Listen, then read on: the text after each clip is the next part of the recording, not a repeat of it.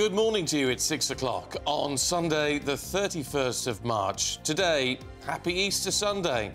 Leaders and religious figures celebrate across the world with the King set to join the rest of the royal family in Windsor. And as you wake up to presents from the Easter Bunny this morning, what's the best way to make sure you can eat your chocolate guilt-free? Also today, a new mega poll has revealed a dire tale for the Conservative Party as they reach a record low, with even the Prime Minister predicted to lose his seat. Um, with clocks springing forward an hour to mark the beginning of British summertime, we'll be looking at the best ways to feel fresh this morning. Good morning. It was a thrilling day of Premier League action yesterday as Manchester United took the lead six minutes into added time, only for Brentford to equalise. We look ahead to the Manchester City v Arsenal game, of course, later on. And there was a Cambridge double in the 169th varsity boat race. Good morning. The clocks have sprung forward overnight, but for some of us, especially during Easter Monday, the weather is certainly not looking very spring-like at all. Find out all the information with me in a little bit. Good morning to you. I'm Stephen Dixon. And I'm Dawn Neesom, and this is Breakfast on GB News.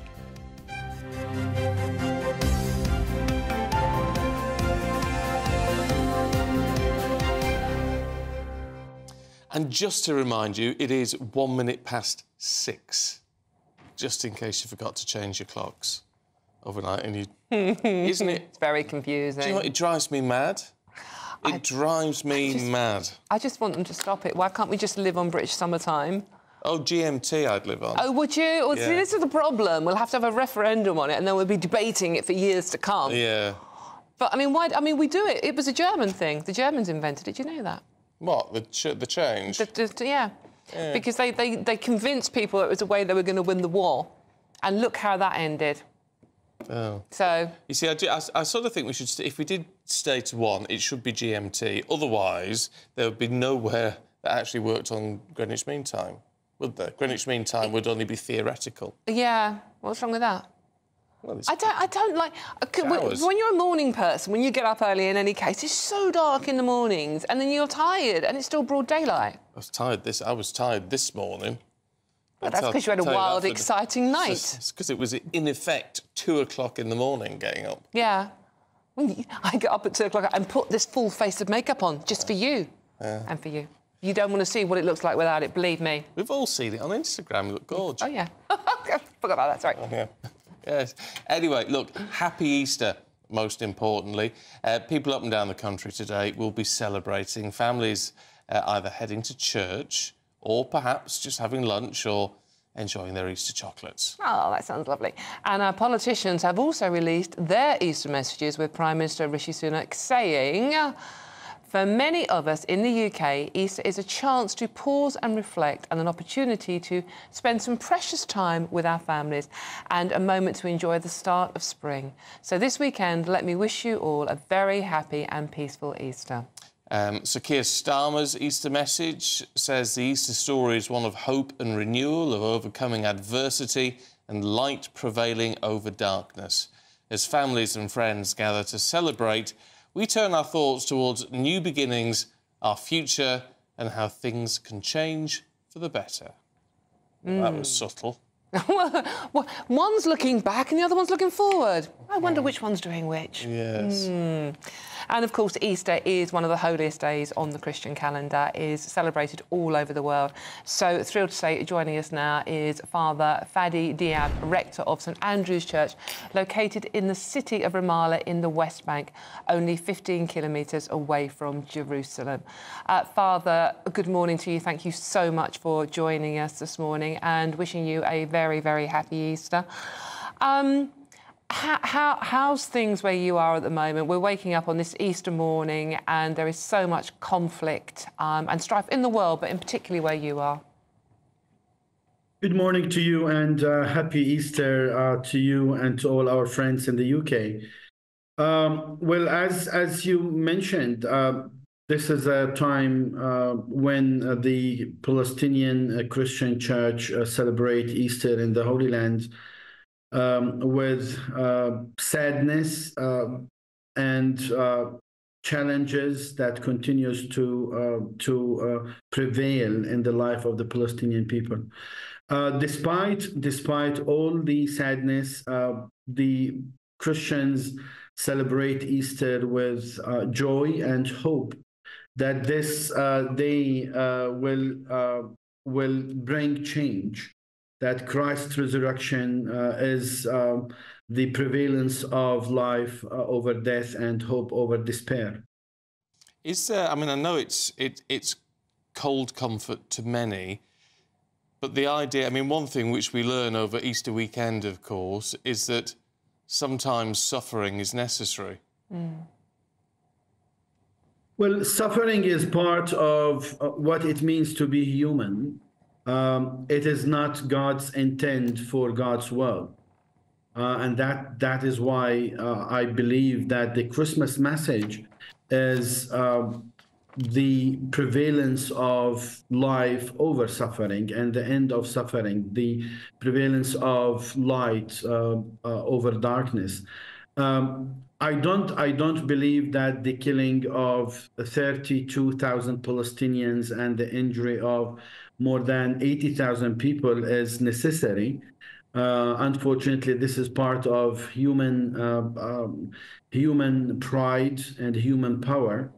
Um, however, God uses that suffering, uh, uses that suffering to transform it into uh, joy uh, through the through the Easter message.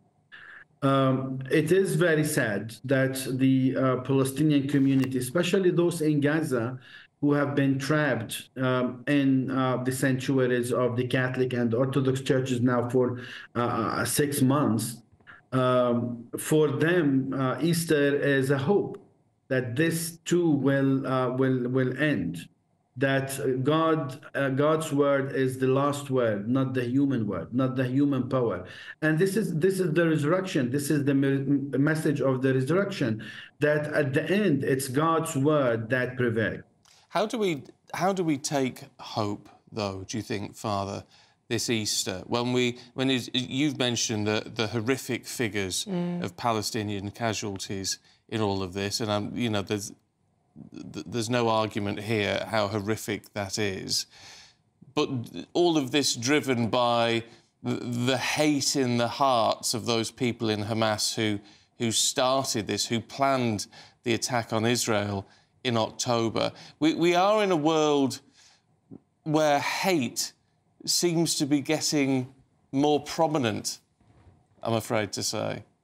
Well, I, I totally agree with you that uh, we are experiencing a, a, rise in, in, in hate uh, and hate speech and hate actions. Uh, and, and this is very frightening to our uh, humanity and our creation. Uh, I think the way we experience hope uh, in the midst of this is uh, to believe uh, in the power of love, to, be, to believe in the power of God to transform hearts, to transform hate into love, to transform our uh, relationship with the other into one of a constructive relationship towards humanity. That is that is the meaning of, of Easter today. That's the meaning of the resurrection. How the human person is transformed through the power of God into a new human being. That kind of transformation, what we need in our context and in our world today. Uh, uh, very wise words yeah, indeed. Uh, Father Diab, good to see you this morning. Thank you very uh, much. very happy, and happy Easter, Easter to, to all you. of you. Thank you. Mm, well, I mean, that's quite strong. It is, isn't it? It is very strong. Unfortunately, running out of time there. I, I just, I mean, because so many people you talk to these days are, are lo literally losing faith in religion because of the conflicts it causes around the world. And I yeah. know religion has always caused, it, caused divide and conflict, but it just seems so it's so common now that you know hate is winning over love, and it's just so. At Easter weekend, it's it's just so depressing. It is, and what what uh, what ties into that slightly? There's been all this hoo-ha, and I know some of you have been upset by, for example, uh, the the Ramadan lights in London and things over Easter weekend, and I get it, I get it. But actually, if you talk to a lot of religious leaders, including a lot of vicars and priests, that they work within their communities with interfaith groups. Yes. Um, yes. there's, a, there's an awful lot of that go, goes on. Yeah. It seems to be people who perhaps aren't necessarily regular churchgoers there's a- who get very upset about the Ramadan lights, whereas maybe a local vicar may, may, may have gone on to the gone to the turning on of the lights or something. And there's- it happens all the time. It does. There's a brilliant, brilliant synagogue near where my friend lives in North London, and at the end of the Ram- Ramadan day of fasting, they hold a, a meal, um, and they invite all the local community there. So you have Jewish people, you have Muslim people, all celebrating together, and it's such a lovely thing to do. If only, oh God. How much of a, oh my God, let's all have a hug, do I sound? But if only we could be more like that. Well, there is more, it's certainly within religion that there is more in common than divides us. Yeah. Um, but anyway, so just if you, you know, don't get angry about things like that. It's Easter. It's Easter Sunday. Eat eggs. Spend time with those you love and carry on watching Stephen and I, obviously. Um, right, we are staying with Easter. Um, the message in today's ever increasing secular society, churches are finding it harder than ever to have their message heard, and congregations are indeed shrinking. So, what role should churches be playing in our modern society? Our Northern Ireland reporter Doogie Beattie went to an outreach ministry in Belfast that deals with addiction and homelessness. We go out and, and reach people in society who are broken. Uh, many of them living on the streets. And when, when they live on the streets, 99% of them then get addicted to drugs uh, in some way. We bring them in and we offer them hope. Uh, the hope is found in Jesus Christ. Teen Challenge can't change anyone, but Jesus Christ can. Uh, and we, we make that plain to, to, to the folk uh, that there is a way out of addiction and there is a way out of the darkness and there is a way out of the pain and that there is hope. Our motto is putting hope within the reach of every addict. And the hope, which is the name of this building, the hope is Jesus. Pastor Brian Madden leads Teen Challenge in Belfast and points to the need for a sense of belonging and belief. Everyone that comes in here belongs. They don't necessarily go to church, but they love coming here. They love coming to a Christian organisation. They they never ever ever refuse prayer. I just prayed with a young man there five minutes ago. I think it's the first time anyone has prayed for him in his life. When churches such as this one were first built, they were so much more than a place to worship. They projected power and social standing. They were a communication hub for the community. But do they still have the same relevance today? Buildings are, for their very nature, they're buildings that at one time could have fulfilled a, a very important function, and maybe they don't now. So if you think back to the earlier centuries, walking into a, a church building could have been a warm and comfortable space, a place where there was a sense of community, where they didn't have other grand buildings. Imagine walking into a cathedral and the high ceilings, the stained glass windows, the grandeur of it all just spoke of the majesty of God. Many churches are funding the Hope Project, and evangelist Keith Mitchell says churches may change, but their message must remain. So our core principles shouldn't change, and our method should always be one in terms of what is the culture saying around us, and how do we engage in that culture in a way that we are we're living out love and grace, but also we're embracing truth. We're not compromising on truth, and I think the church has a radical message of hope to still bring to the world today, and we do that in lots of different ways. So you might be looking at an old building now and say, you know, how is this relevant? But it's from the cafe at the side, and when people come in here on a Thursday night to worship, they, they see something contemporary, they see something new, they see something fresh. And in the world today, people need hope, and the church champions hope more than any other religious organisation in the world. Doogie Beattie, GB News, Belfast. We have got to get out and about there and do good. That's what the And- church should be doing. I mean, that's that's that's what it, it is about, isn't it? It's helping people. Yeah, and for those who look down on on people who maybe have a drug addiction or all the rest of it, Mary Magdalene is all I'd say. Yeah, no, Yeah, quite. prostitute. Yeah, well, funny enough, talking of that, I used to do a little bit of charity work in the East End of London uh, with, with fallen women, as they used to be called. And, you know, all most of them wanted were sanitary products. Yeah. They were living rough. They didn't have the basics like that. You've got, you know, this is you, you've got to reach out to people. Yeah. Um, preach the gospel at all times, and if necessary, use words. Yeah, exactly. Kind words. Oh, my God, we sound very sort of like... Very religious. Very, very woke and cuddly this morning. I hope as my well. vicar's watching. She'll be delighted. Yeah, she will. yeah. Um, but no, but there's a lot of let's you know let's concentrate on good. It is it is and it's not necessarily woke or or weak or lefty or righty or anything else. To be kind.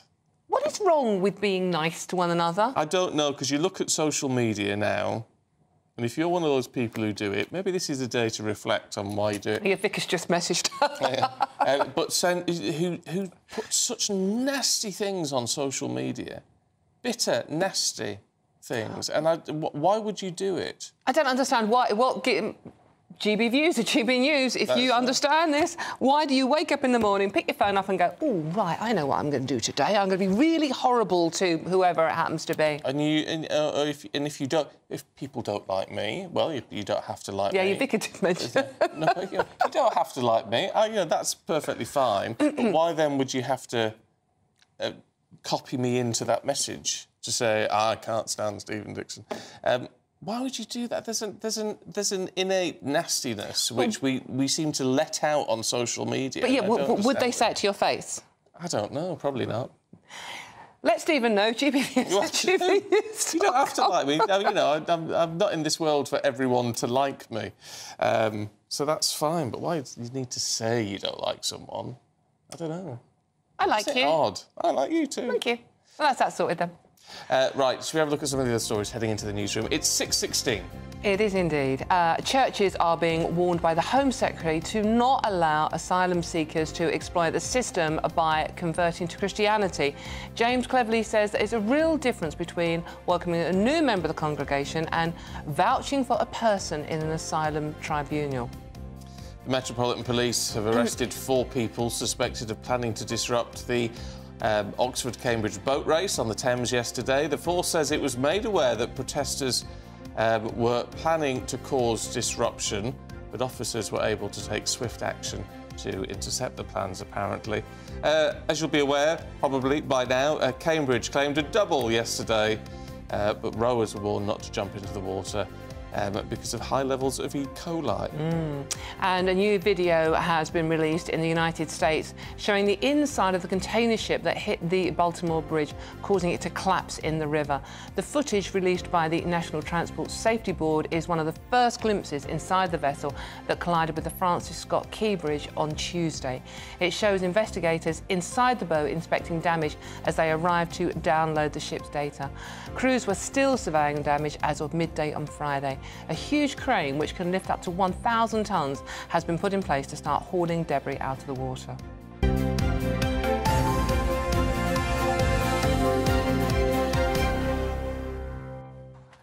Now, in his Easter message, the Prime Minister welcomed the opportunity to pause and reflect as he gears up for a general election. Hmm. OK, but a new poll in the... It's a mega poll, actually. Why it's a big calling one. it a mega poll? Because it, they asked a lot of people. You know, normally polls are like we chat to 2,000 people, but this is, I think, 15,000. So it's quite a lot of people. Oh, I see. Yeah, I Mega. think so. Anyway, new mega poll in the Times newspaper has revealed the Conservatives are on track for the uh, worst election results ever. Uh, well, it found the Tories could win fewer than 100 seats, Labour having a predicted uh, majority of, of 286. I think it was a whopping majority when Boris Johnson got 80. Yeah, that's that's that's, that's a 2019. whopping whopping. 286 seat majority. That's literally everybody, isn't that? The problem with that is, of course, is that would mean the Labour Party could do anything it wanted, and that's why. Who was it the other day saying to Chopper um, about you know there needs to be a um, you need to have a strong opposition for for democracy's sake. You need a strong opposition. That's just sensible, Mm. um, which you wouldn't get with that sort of majority. I mean, that's No, there would be no opposition whatsoever, would there? No.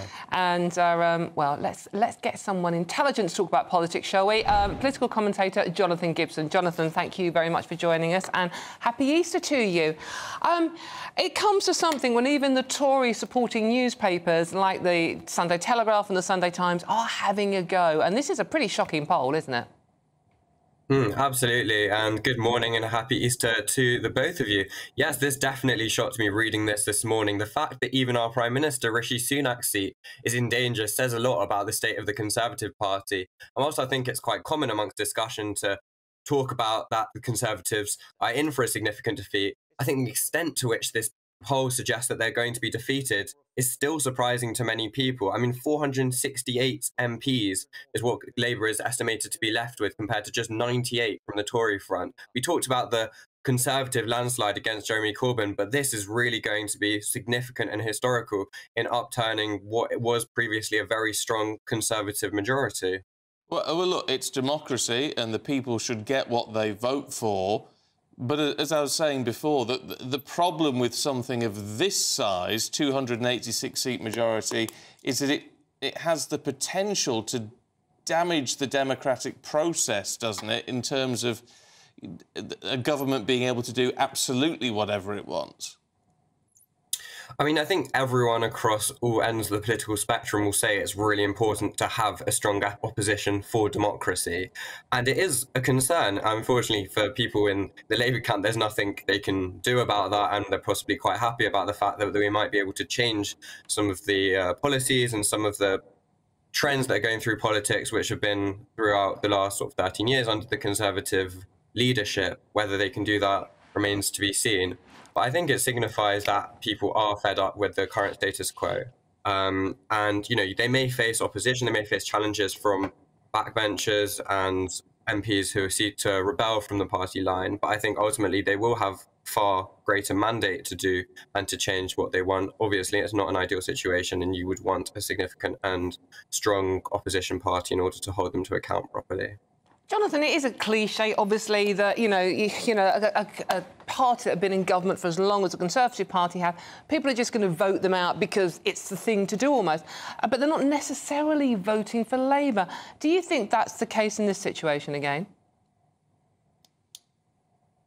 I think that there's a few different reasons why people are moving away from the Conservatives. I think part of that is the length of time that they've been in power. Part of that has been frustration over key political issues, which they many in the public have felt have been ignored. The leadership tussles, which have really weakened mm. the party, whether that was with Boris Johnson, Liz Truss, and Rishi Sunak, and people sort of feeling ignored and their voices feeling very much alienated. I think with um, Keir Starmer, there's a bit of push and take. There's people possibly feeling that maybe even if we don't really, really want him, we're not really excited by the prospect of his leadership. He seems like a safe pair of hands, someone who may take into account some of our concerns. And obviously, he's been moving towards sort of the centre ground, which has been growing his appeal to many um, across who are not, you know, far far left or even in the Labour Party, and a lot of reluctant, often, often historic sort of conservative um, voters or people that hadn't voted in several years are starting to move towards his party. Um, and I think a lot of people who are on the left are sort of grudgingly going to vote for him, knowing that voting Green or anywhere else would sort of be a bit of a waste, I would argue.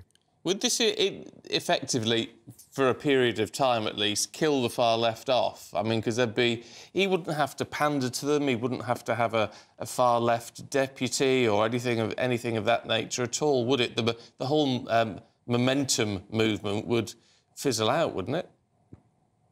I mean, I think within his party, he's actually done quite a remarkable job of shutting down the, the far left, as we are seeing right now today in campaigns and in the way who's allowed to speak um, and what the party line is. And I think that's been quite surprising to many in some ways, given that he was serving in uh, Jeremy Corbyn's cabinet. So I think he's already shown that he's willing to do that. I think actually there will be more challenges, if anything, once he seizes power and these people mm. feel like they have the ability to speak because they have, you know, got their seats and been represented. So I think there will, there will start, start being more challenges, but obviously the fact that he might have such a landslide will possibly help him to push some of that. But when you have such a big majority, it actually can be incredibly difficult to cater to all those different factions and make sure your party stay happy with you. So it might be an incredibly difficult job, even though it seems on the face of it that it will be quite beneficial for him having such a large majority.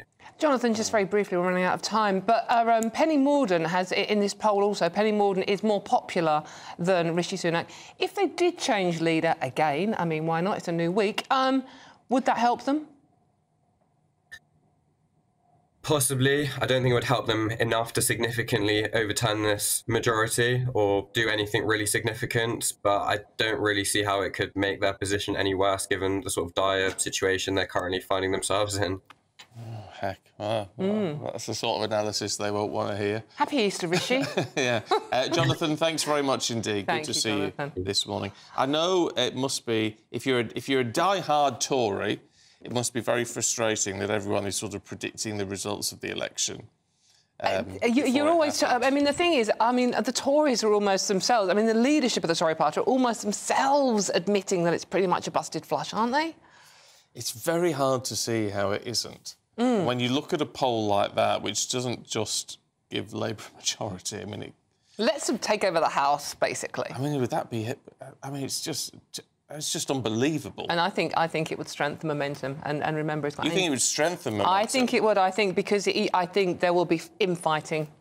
Got But wouldn't you see? My, someone was talking to me about this the other day, and my argument was, well, presumably all this new intake would, at least for 12 months, be absolutely behind their leader. I'd, I'd, I'd give it 12 weeks. The way politics are at the moment, I mean, and. Angela Rayner's there. Hmm. Well, yeah, but she might not be deputy afterwards. No, no, no, no. She might not be, but I think she's um, she's got more spherical objects than Keir Starmer. Oh, I see. Mm, good on her, as far as that goes. Uh, right, let us know what you think about all of that. It's going to be a very interesting election, whatever the outcome in all of this, that's for sure. Um, is it going to be an interesting Easter Sunday weather-wise? um, I sort of doubt it. Here's Craig. A brighter outlook with Boxt Solar, sponsors of weather on GB News. Good morning. Welcome to your latest GB News weather forecast from the Met Office. Well, today, most of us, we do start the day with some sunshine, but it will turn increasingly cloudy, especially across the south. So we can see the sunshine across many parts of Scotland, Western England and Wales, but further east, there's already cloud moving in. That will spread its way gradually a little bit further westward. So for many central and eastern parts of England, a rather grey afternoon to come. Brighter elsewhere across England and Wales, but the best of sunshine really for Scotland and Northern Ireland. But here we will see a scattering of showers. Temperatures in the sunshine not doing too badly again, 14 or 15 degrees. Into the evening, we start to see this band of rain move in from the continent, and that really is going to give us a, a fairly wet night across many parts of England. That rain then spreads across parts of Wales too in the small hours of Easter Monday. But all the time, Scotland and Northern Ireland are a little bit dry here, and in any clear skies, we will see a touch of frost. So for many parts of England and Wales on Easter Monday, it's going to be a pretty wet affair. Some of the rain will be heavy, giving some fairly poor travelling conditions in places. It does brighten up down towards Devon and Cornwall though, but all the time, Scotland and Northern Ireland seeing the best of the weather on Easter Monday. A few spots of rain, but also some decent sunshine. And in the sunshine, highs at 14 or 15, but feeling pretty cool under the rain. That warm feeling inside from Boxt Boilers, sponsors of weather on GB News. Still feeling sleepy out there? Remember, those clocks sprung forward this morning, but are you springing out of bed? Well, fear no longer if you're not, because we speak to a sleep expert in just a moment. That's coming up next. This is Breakfast on GB News with him, Stephen, and me, Dawn.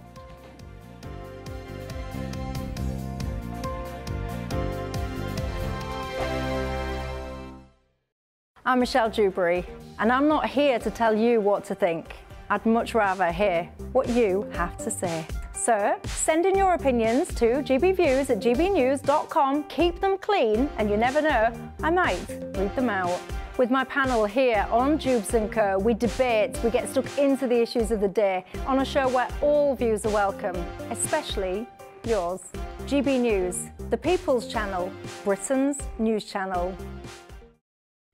2024, a battleground year. The year the nation decides. As the parties gear up their campaigns for the next general election. Who will be left standing when the British people make one of the biggest decisions of their lives? Who will rise? And who will fall? Let's find out together. For every moment, the highs, the lows, the twists and turns. We'll be with you for every step of this journey. In 2024, GB News is Britain's election channel.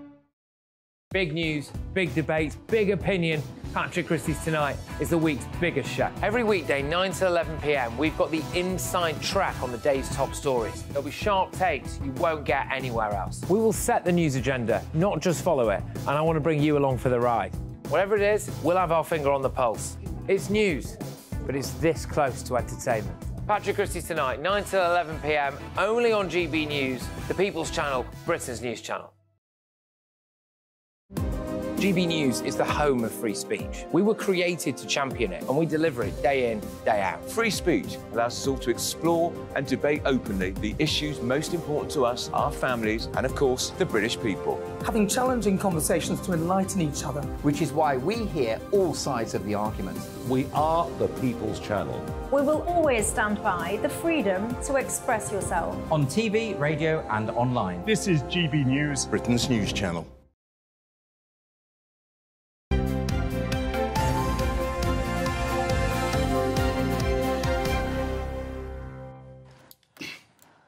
Wondering why you're feeling so tired this morning? Actually, well, I'm not. I'm feeling quite perky. No, you're very perky. perky. This is highly really annoying, isn't it? Yeah. Well, I'm not feeling perky this morning, but I know why. Because the clocks went forward, so an hour less sleep. Um, it's probably, we're told, the best weekend for it to happen on. Don't know why. Why? No, I don't get that. I mean, why is it good to lose an hour's sleep ever? No. Any case, but it's not just, you know, feeling a bit grumpy like some people might be this morning, but losing the hour's sleep can have a real effect on the roads and an increased uh, risk of accidents due to tiredness. Ah, well, that's a very fair point. Let's mm. talk to hmm. sleep expert Dr. Lindsay Browning. Good morning to you, Lindsay. Look, nothing we can do about it. Clocks go forward, and that's just the way it is. But how do we compensate for that? How do we get the best out of this? Yeah, brilliant. Well, what you said, it's absolutely the best weekend for it to happen because the best the way to avoid that missing that hour sleep really is to make sure that you've either gone to bed early last night, if we had a time machine, or you give yourself a lie-in over the next few days. And as long as you're not having to work on Sunday or Easter Monday, you'll be able to get a little bit of catch-up sleep over the next couple of days, enabling you to avoid that hour less. Because of course, when the clocks change, if you don't, if you go to bed at your normal time and you wake up at your normal wake time, you're going to lose an hour's sleep, which has a, a real impact on tiredness and, as you said, an, an increased risk of road traffic accidents, of heart attacks, all sorts of things due to that that missed hour that a lot of us will get. Uh. when you when you say it's a good weekend, though, uh, Lindsay, um, it, it is and it isn't because it's also Easter, obviously, and it is the bank holiday. I get why it's good, but there's also lots of chocolate around, and I find messing around with the actual clocks affects your body clock, mm. and I either end up eating too much at the wrong times of day or forgetting to eat completely. It does affect every rhythm in our body, doesn't it? Absolutely. Our circadian rhythm is our internal 24 hour clock. And that's the thing that kind of goes wrong when we change time zones or, or the clock t- change happens. And when we change our circadian rhythm, when we mess with it, it can affect our metabolism, it affects our hormones that produce our hunger drive, absolutely will affect our ability to to choose healthy foods. And as well if you add to that the fact that you might be a bit sleep deprived sleep deprived people people who don't sleep enough hours tend to eat an additional 300 calories a day which is quite a lot really. Uh, and of course we tend to choose when we're sleep deprived foods such as sugary things chocolate and yeah if you're lucky enough to be surrounded by lots of easter eggs mm. you're going to definitely reach for those Mm. What about people? I mean, the, a, a, general sort of sleep question, if you like, because there are lots of people who who struggle on, a regular basis. What do we do that isn't? And because what I do get a bit fed up of is is all this. So, well, don't don't watch television. Don't don't look at your phone. Don't, don't know that. But what can we do apart from apart from all that sort of stuff, which people find unavoidable? Yeah, absolutely. Well, if you do need to use your phone, uh, which of course I'm a I'm a mum, I can't leave my phone downstairs at night because I need to be able to be on call for things. Just enable night mode, which takes away some of the bright light which affects our sleep.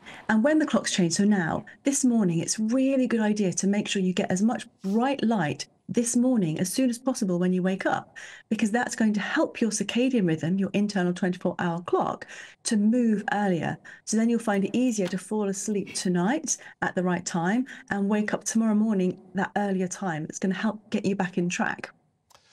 Lindsay, finally, just oh. one question, because I'm married to hmm. Rip Van Winkle, by the way. If you are tired today, is it sensible to have a little afternoon nap, or should you just try and soldier on and, and sleep at bedtime? So, an afternoon nap can be amazing for our productivity to help give us a boost in the afternoon, but it needs to be afternoon, so about sort of 12, 1, 2 o'clock, and not later than that, really. And it needs to be not too long. So, a 20 minute power nap around just after lunchtime after you've had maybe a bit of lamb Easter Sunday mm. would be absolutely perfect to give you a bit of a boost to get you through to the evening. And then your circadian rhythm will get back in line so that come Tuesday, work time, you'll be back on track and sleeping well and feeling bright, awake, and alert. Hmm. Brilliant. Thank you, Dr. Lindsay. And a very happy Easter to you and yours. Thank you. Hmm. I have a power nap. Doesn't work, does it? I have a power nap. It's a three hour power nap. That's not a nap. Most, That's most a night's sleep. Honestly, I can't. This whole power nap thing, if you can do it, brilliant. And, and Dr. Lindsay's absolutely right. Yeah. But I can't do it. I can't go to sleep and wake up 20 minutes later. I'm out cold. For three hours? Three, at least three hours. I'm lucky if I get three hours a night. Really? I, just don't, I, I, think I'm a bit more Margaret Thatcher, but she did go a bit mad, didn't she? And so, yeah. yeah. Oh, Aidan's waving at me. What are you waving at?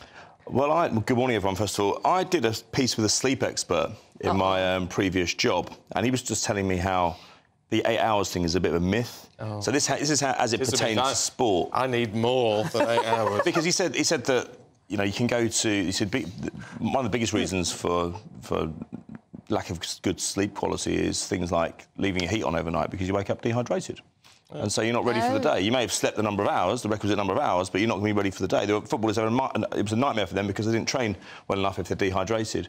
Uh, the, last, the last light you see before you go to bed or wake up should be natural light if possible obviously easier in the morning than it is in the evening, especially in the winter winter months. But also the eight, eight hours thing. What happens when you go and do a sleep consultation for Real Madrid or Barcelona? They have siestas. They sleep in the middle of the day. It's mm. not they don't have the same don't have the same sleep pattern as we no. do over here. Body clock. No. No, well, no one's going to be having a kip this afternoon, they are. There's a bit of a big football match coming on. Well, it's yeah. I mean, look, these matches between these top twos and top threes in the last couple of seasons, they're they're almost like Super Bowl levels. This will have a global television audience. Stephen, uh, Arsenal going to Manchester City, looking to exercise a few demons. They went there 11 months ago. They had frittered away an eight-point lead. They went there and they were literally steamrolled. Do you remember, Dawn? They were lost 4 1 at yeah, Manchester yeah. City on the way to the United City winning the treble. Question marks over the summer. Are Arsenal ever going to have the mental fortitude, the courage, the bottle, the determination to see this job through, having made, made improvements year on year? Today is a litmus test because I think they've won eight games in a row, so they can't really be in much better form, Stephen, going to this uh, game. But we are talking about the treble winners. We're talking about the manager of Arsenal, who was a he was a sorcerer's apprentice because he was he was the coach at Manchester City under Pep Guardiola. He still rates him as the best coach in the world. Then you've got Liverpool, the third the third cog in the wheel because they're, they're going first in this, aren't they? Well, they are. They are. So they could they could go top anyway, and they'll be hoping and praying, just as Arsenal were three weeks ago. They're hoping and praying that the other two draw because that leaves the door open for them. And as, as I say, we all crave excitement in football. We all crave excitement in life, and now we've got three teams going at it, hammer and tong for the title even last season when, when Arsenal fell away, there was still the last month. It was a little bit processional. Manchester City had done mm, the job. Yeah. All their eyes were on were on Europe and a domestic trophy, for the FA Cup, of course. So it looks like we're going to have a three-way tussle, and it could be memorable when we look back. Okay. Um, can we talk Man United? Yes. Um, because I mean, they, who did they beat the other week? Oh, Liverpool. I was there, and, and that was oh, that was the one you went to, isn't it? It was. So they put you a corporate gig, and it was a great performance. It was great. From that to... So how many times do we talk about Man United and mentality?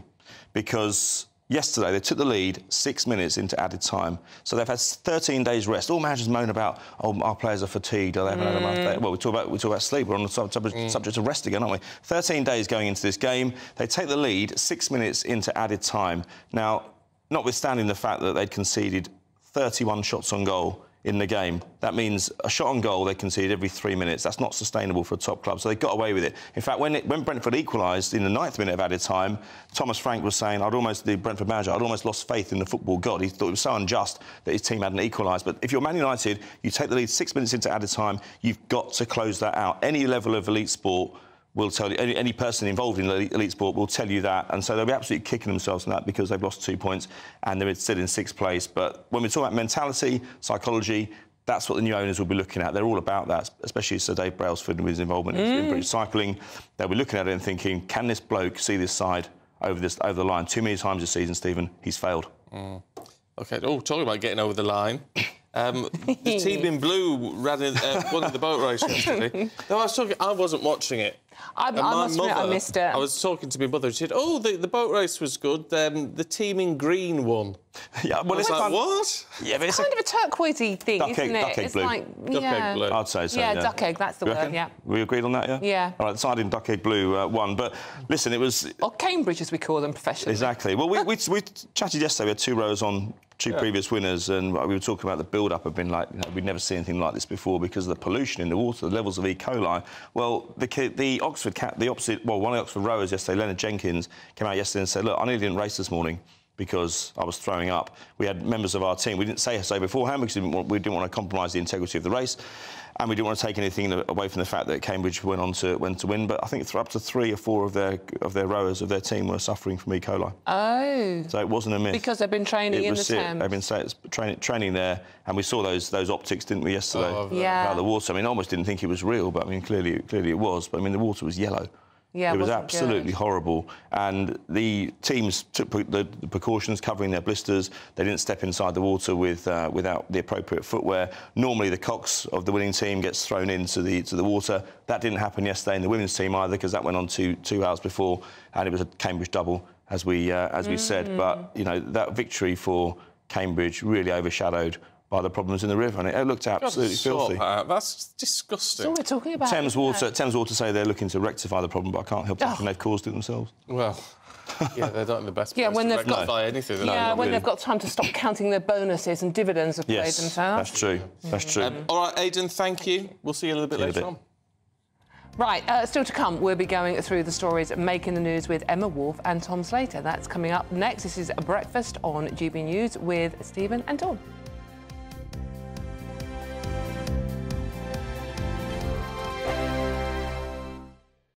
Tom. & Co. Weekdays from 6 p.m.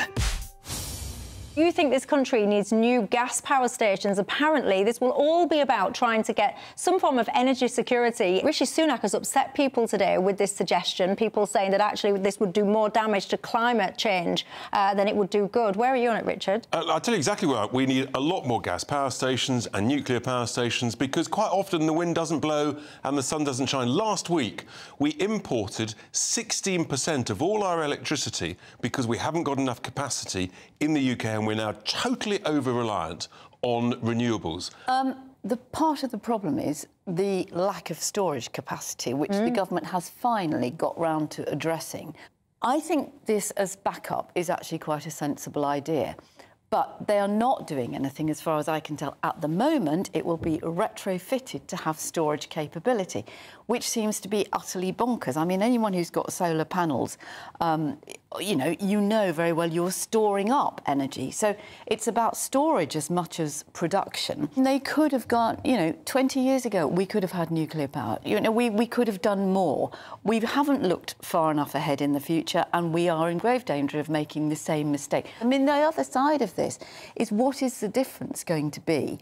Blackouts are you know, they're irritating and... Irritating? It'd be disastrous. It well, would destroy our now. economy. Well, they would be now, but, you know, um, some of us remember three-day weeks and things like that. And in fact, you know, I grew up thinking that everybody had, you know, at least a couple of days a week when they had to eat off a primus stove and things. This is, again, I don't want to harp on, but this is one of the problems in the politics in our country, isn't it? So many politicians, they just think in election cycles. Absolutely. They just think, what can I do and yeah. say to get my own backside re-elected uh, at the next general election? They're not always looking ahead at actually, politics aside, what is genuinely the best thing for this country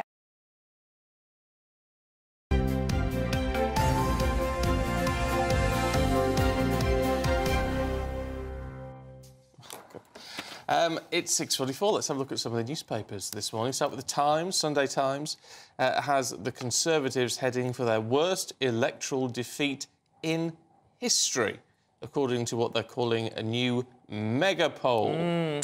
Meanwhile, the Mail leads with Angela Rayner branded a hypocrite for targeting the Prime Minister's wife over tax affairs. Uh, in the Sunday Telegraph, a warning today about how Labour's net zero plans could leave Britain at the mercy of China. And the Observer leads with the UK's previously undisclosed legal advice to Israel. The Sunday Mirror has a friendship between the Princess of Wales and Giovanna Fletcher, who's um, a winner of I'm a Celebrity. You didn't sound that confident in that bit. Never heard of her. Who? no, I'm sure. I'm sure it's fine. Uh, joining us now to go through the papers is writer and columnist and journalist Emma Woolf and Ezra Spite. Tom Slater, thank you very much. Happy Easter to you both. Happy Easter. Looking remarkably refreshed, considering we've stolen an hour off you. yes, yes, yes. Well, the universe has stolen an hour. Yeah. Where's it gone? It's very bad. We want it back. Emma, can we have a look at the Sunday Yeah. Times Yeah. and this mega poll, which Yeah. is frankly yeah. shocking. Well, I was going to say it's shocking, but it's sort of not. We know this, but it's devastating, isn't it? It's devastating for the Conservatives. It literally puts the seal on all hopes. You don't come back from a majority. Labour are not going to lose the next election on this footing. This is a poll of 15,000 people. This gives the Tories 98 seats. It gives Labour uh, uh, 468 seats, a majority of 286. I mean, that's... It's it's got mo- uh, cabinet ministers, it's got possibly the prime minister and the chancellor losing their seats. It really is devastating. The Mm. We're Tories. not, we're not heading for a hung parliament then. on this forecast, the Tories would become an England only party. They would be wiped out Mm. in Scotland and Wales. They would lose every single one of the red wall seats that were gained in 2019 under. Under Labour, um, sorry, under Boris Boris. Johnson, and it would be the biggest ever defeat for the Conservatives, bar none, bigger than their 1906 general election defeat. So it really isn't good. And let me just be really boring for a minute. The, it's the method of polling that's interesting. This is MRP, multi-level regression and post-stratification, which is pretty accurate. It was pretty accurate in 2017. It was pretty accurate in 2019. I'm sure Tom is an expert on this, but it's an accurate way of doing polling. Mm. So I think this means a bit more than just another poll. Yeah. But, Are you an expert in this? I'm not an expert in polling per se, but MRPs are supposed because they look at it almost seat by seat. They rather than just taking those crude national numbers. You oh, I see. Apply it to each of those constituencies. She was kind of implying that Tom is boring, so he would know what Emma was talking Fill about in the boring gaps. No, but it, is, Yeah. it is so staggering, isn't it? When you consider how quickly this decline has set in. Mm. I mean, we can all see why. I mean, some of it's quite prosaic reasons. You, ha- you know, no incumbent government is going to survive double-digit inflation, and you've had all of these external shocks. You've had a pandemic, and obviously their handling of that was atrocious in many respects. But nevertheless, the fact that they've gone from talk of 10 more years in power, a brand new Tory coalition Mm. of working class Northern and Midlands voters, as well as their, their traditional shies, to being completely routed is really staggering. The one thing that I'm convinced of, though, is that even if Keir Starmer wins by quite a considerable measure, it's going to be oddly soft at the same time. You look at the surveys and the focus groups, people don't really. It's not even that they're not in necessarily energised by Keir Starmer. They still don't really know who he is. So I think that'll be interesting as to how long that honeymoon period is, because of the fact that they're they're voting for change, but they're not necessarily voting for Labour and Keir Starmer, if that makes sense. Yes, Or, or they're staying at home, Tom, because I think Absolutely. I think Yes. there's going to be, you know, in terms of turnout, it's going to be absolutely crucial. I know so many Conservatives, ideological Conservatives, who are just thinking, what is there to vote for? They can't quite go as far as reform. Mm. And they're thinking, I'll just stay home. People the- who want to vote, people who want to vote but don't feel there is anything for them to vote for. On the big issues that Mm-hmm. people care about, will we see anything significantly different? Because I just think they, they'll want to see, you know, they'll, they'll, they'll, they'll need to woo over Mm-hmm. the, the Tory voters or the who've led to them their votes, if you like. Mm, Well, I Um, think both parties have drifted towards the centre. That's what they do, isn't it? Well, yeah. Uh, well, although the Conservative is also being pulled to the right. So, and, and look at where reform have come in such a short time. I mean, really, up to what 10, 12 percent in the polls. So, I, No, I don't feel wildly different. I don't think they're uh, offering anything wildly different between Sunak and Starmer, and they both feel very, very bland and Mm. very, But- very blank. Neither of them is exciting or inspiring That's the what's, so, public. that's what's so depressing about it. It feels like we've gone back to the kind of factory reset mode of British politics, where you do just have competing flavours of blancmange. And Yeah. that was the one very good thing about Brexit, I think, amongst many good things about it, uh, was the fact that it forced politics to kind of respond to what people wanted. It, But it also became quite vitriolic. But sometimes I think it became vitriolic because the attempt to stop it more than anything else, really. But you, I, but at the same time, you do need politics to reflect where people are at. If you've got two parties which are basically kind of dancing on the head of a pin, I don't think that's good for democracy either. No. Should we, should we move on to the Telegraph, Tom? This is uh, Rishi's Easter message, where where you've got Keir Starmer Mhm. looking forward, change, rebirth, regrowth, etc., etc., and Rishi is reflecting in his Easter message. It's, it's not hard to read the kind of political No. tones to this. As you say, you've got Labour saying maybe it's time for a renewal, it's time for change. And you've got Rishi Sunak saying it's time to pause and reflect, which I think kind of translates as please, please give us another, give us another look. You don't even have to vote for us, just give us, just give us another look. Yes, so this is obviously, you know, th- there's all the kind of wa- warm words and rhetoric one would expect, talking about the importance of faith at a time like this. Talk, um, Rishi Sunak specifically talking about the contributions of Christians up and down the country, as well as the um, brutal treatment of them in certain parts around the world, which still carries on to this day. But as you say, you can't help but read the politics into this, and it does seem to reflect what we have been talking about, which is Labour riding high and the Tories desperately asking for the public to give them a second Is chance. there anything we, we should make of it? The fact that Keir Starmer put out a video message, Mm-hmm. whereas Rishi just put out basically a, a, a tweet. Yeah, it's, it's, it's difficult, isn't it? Because uh, at times like this, anything which um, is, is read into so, on so many different levels, you know, what are they trying to say? Are they putting in more effort, what have you? But I dare say that the, the nation is not on tenterhooks waiting to hear what either of these two have to say over the bank holiday weekend. No, no, No. well, we're not, are we? I think really? people are more interested in their what's in their Easter egg. Well, sadly it's the case, but I Mm. don't so that uh, an, an Easter message from two politicians in the year of a general election is never going to just be. Don't really look for it should be. spiritual leadership. No. Or leadership at all. These. Um, Emma, uh, when Labour win, which um, is uh, is what the Sunday Times is saying, um, the Sunday Telegraph saying that Labour's uh, net zero plans will leave us at the mercy of China. Well, yeah, it's Claire Coutinho saying this, who, by the way, is a close pal or close ally of Rishi Sunak. It's convenient, Okay. isn't it, that she suddenly is criticising Labour's net zero plan. so their plan is to basically make us green or to get us to. Um, to convert Britain to clean power by 2030, which is only five years ahead of the Tories' alleged plans for 2035. But anyway, she's going full on attack. She's saying that Labour's dangerous net zero plans leave us overly reliant on Beijing, Why? on their batteries, on their cables, on their wires, on their electricity, uh, sorry, Chinese-made metals, all of that kind of stuff. She's saying that, you know, at a time when we're just moving away, we're trying to move away from, she's the Energy Security Secretary, we're trying to move away from our over-reliance on Russian oil and gas. And we are, and Labour's plans, according to Claire Coutinho, are going to make us over-reliant, dangerously reliant on on China and are going to uh, threaten our ability to keep the lights on. I mean, she goes for it. But how how is their Labour's plan? Apart from the fact they're slightly faster, how are they any different? With, with that five-year difference Yeah. between the plans, Because- it's not going to be a difference. Well, They're look- suddenly producing batteries, and cabling, and all the rest. And of neither of them have made any proper long-term plans. We've seen Starmer, um, you know, U-turning anyway. We haven't got long-term plans in place. You can't build nuclear power stations in five, in a year. You No. just can't. There hasn't been Minimum any five long-term years. They keep they keep turning around, but but they are saying that you know they're they're worried about this. The plan is unfeasible, and that we will be um, yeah that, that that we'll be in the hands of China. Which you know China is a big threat at the moment. So you can see kind of have a point. where she's coming from, but you can see also how Hmm. she's trying to shift the narrative, take the attack to Labour on something that I don't know. Most people in the pubs up and down the country aren't really, you know, getting that worked up about right now. But a lot of people are talking about football. Mm. Tom, what's happening here? This is the uh, front page of the Sun on Sunday, isn't it? Yes, so there's been a sort of um, warning issued to England fans as they head over to Euro 2024 about the threat of terrorism um, and about um, concerns, particularly recently given that ISIS-K attack in Moscow, where almost Mm. 150 people lost their lives, absolutely brutal. But also, in recent years, there have been increasing kind of attacks in and around football stadiums. Remember the um, Sweden-Belgian qualifier? Yes. not that long ago where a few Sweden fans lost their lives. Um, there was also, it's, what, it's kind of forgotten now, but during the Paris attacks in 2015, one of the uh, attacks, one of the bombings was at the Stade de France, where France Yeah. were playing Germany at the Mm. time. So, whilst up until this point we haven't seen as many kind of attacks targeting football, it's obviously always going to be a big concern given the numbers of people who Mm. are turning out. Um, there's also a lot of discussion around the way in which this could be a target, not just for Islamist terrorists, but also concerns about other kind of forms of extremism. Use of drones is one thing that's noted here.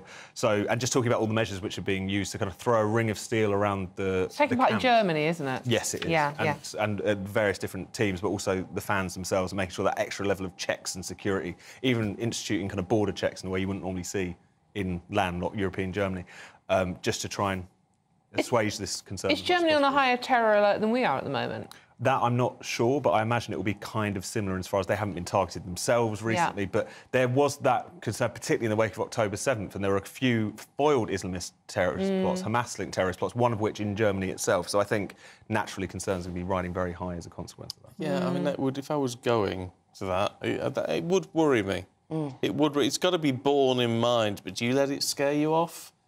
I mean, I, I think diehard fans will be making their way out there, and we know that there's some, been some trouble with, you know, fans who are uh, planning to go from here. But it's a big sporting summer, and there are going to be lots of these, you know, raised terror threat alerts. When you've got, as you say, when you've got huge amounts of people gathered in one place, and they're big targets, aren't they? These events. Well, yeah, and I would still go. are. I would still go. Terror works by terrorising. You don't give in. Yeah, no, I agree.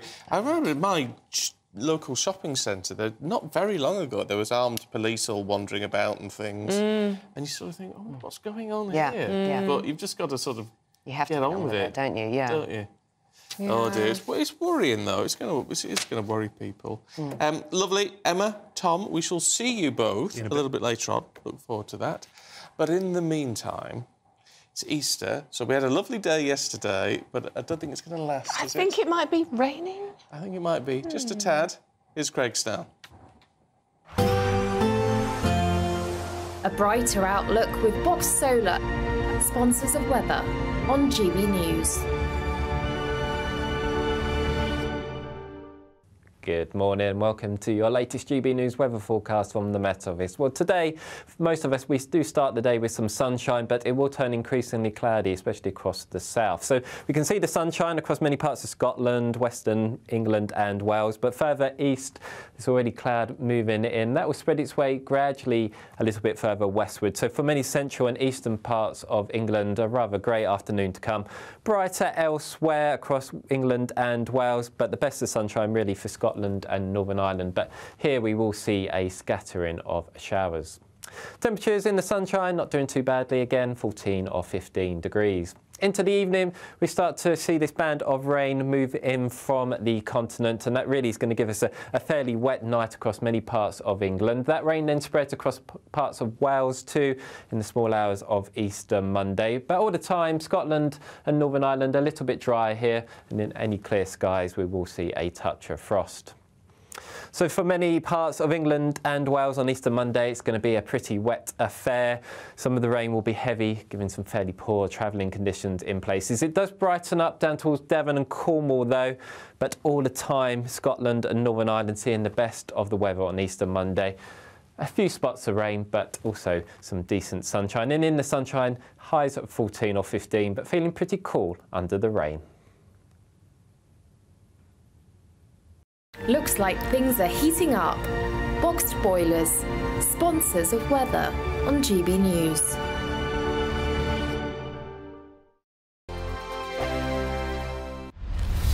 Farage, Monday to Thursday from 7 pm. Now, the massive debate back across the pond is NATO. Everyone's talking NATO every day. Uh, it was your comments about them not paying enough, not They paying two percent, and you said pay. this. You said it again recently. You made a comment. Well, the Russians can do whatever they want if these guys don't pay. Well, That's now being That's- used. Well, they can use it. I don't really care if they use it Okay. because what I'm saying is that's a form of negotiation. Uh, why should we guard these these countries that have a lot of money? And the United States was paying for most of NATO. And when I went there, and I already had it out with them, and now they stopped paying again. But now they're paying because of those comments that you saw two, three weeks ago. The question was asked by the head of a major country in front of everyone else, 28 countries at the time, including us. They said, So if we don't pay our bills, are you going to protect us from Russia? I said, You mean you're delinquent? You're not paying the bills? Yes. Nope, I'm not going to pay you. We're not going to do it. We're not going to defend you. If you're not paying your bills, we're not going to defend you. It's very simple and hundreds of billions of dollars came flowing in. Now, if I say, yes, I am, they're not going to pay their bills. Why would they do that? NATO has to treat the U.S. fairly because if it's not for the United States, NATO literally doesn't even exist. But they took advantage of us, like most countries do. If they start to pay their bills properly and the club is fair, are places like Poland defended? Will America be there? I believe the United States was paying 90% of NATO, the cost of yep. NATO. Could be 100%. Yep. It was the most unfair thing. And don't forget, it's more important to them than it is to us. We have an ocean in between some problems. It's more important for them. They were taking advantage, and they did. They took advantage of us okay. on trade, and they took advantage on. So if the they military. play fair, if they start to play fair, America's there. Yes, 100%. 100%. Thank you.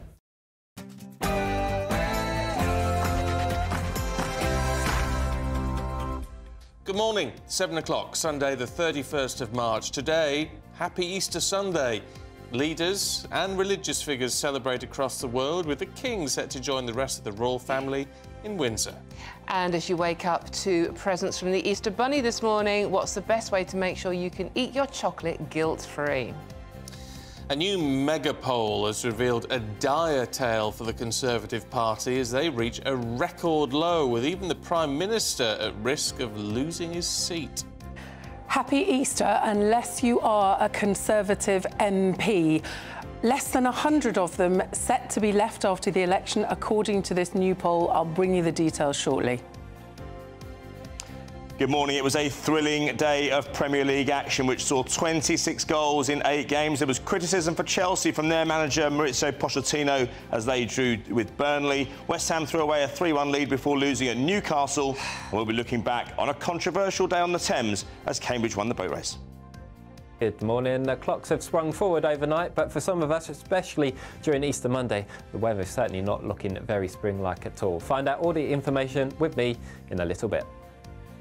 Morning to you, I'm Stephen Dixon. And I'm Dawn Neesom, wishing you all a very, very happy Easter. This is Breakfast on GB News.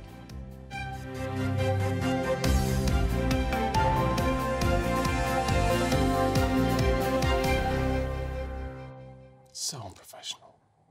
So unprofessional. Which um, I will just say, coming up for you very shortly, we're talking to Catherine Forster, who is sat here eating chocolate. what were you talking I, about? All I can God, hear. I I've got a mini egg in all, my mouth. All I can hear is you munching away on chocolate. You have to do a professional job here. Sorry. Happy Easter to you too, Stephen Dixon. That's what we have to put up with in this place. She had one little tiny one. I, I can hear it. I can smell it. oh, I can smell it. Um, look, actually, if you are having a bit of chocolate or an Easter egg hunt or whatever today, um, Jack's been in touch. Hi, Jack. Love this message. I'm a 60-year-old ex-gunner, he says. I've just returned from hiding four Easter eggs on Blackpool front for my granddaughter, posted a treasure map. Oh, she's eight, and I'm pretty blessed to have three brilliant sons and an ace granddaughter. Um, it goes on to say, I wish people would stop fighting just for one day. I've had to fight and it's pretty rubbish. I love that. Jack, happy Easter to you and your family. Enjoy that. I, I, am Jack. Can I pop up and join in? Uh, meanwhile, Mo says, um, and I love this one as well, uh, good morning to everyone of every religion. When will people realise that it does not matter what your religion is, God loves us all. So if you are of faith, whatever faith that is, um, have a blessed day. Now, people up and down the country will be celebrating Easter today. Families uh, are either heading to church, perhaps having lunch, or sitting around enjoying those chocolates. yeah, like some people in the studio. And our politicians have also released their Easter messages with Prime Minister Rishi Sunak saying, for many of us in the UK, Easter is a chance to pause and reflect and an opportunity to spend some precious time with our families and a moment to enjoy the start of spring. So this weekend, let me wish you all a very happy and peaceful Easter. Well, the leader of the opposition, Keir Starmer's Easter message is interesting because it's really quite well, I mean, it's not political in and of itself, but you know, it's very Mm. thinly veiled. The Easter story, he says, is one of hope and renewal, overcoming adversity and light prevailing over darkness. As families and friends gather to celebrate the holiday, we turn our thoughts towards new beginnings, our future, and how things can change for the better. No, no political message there whatsoever.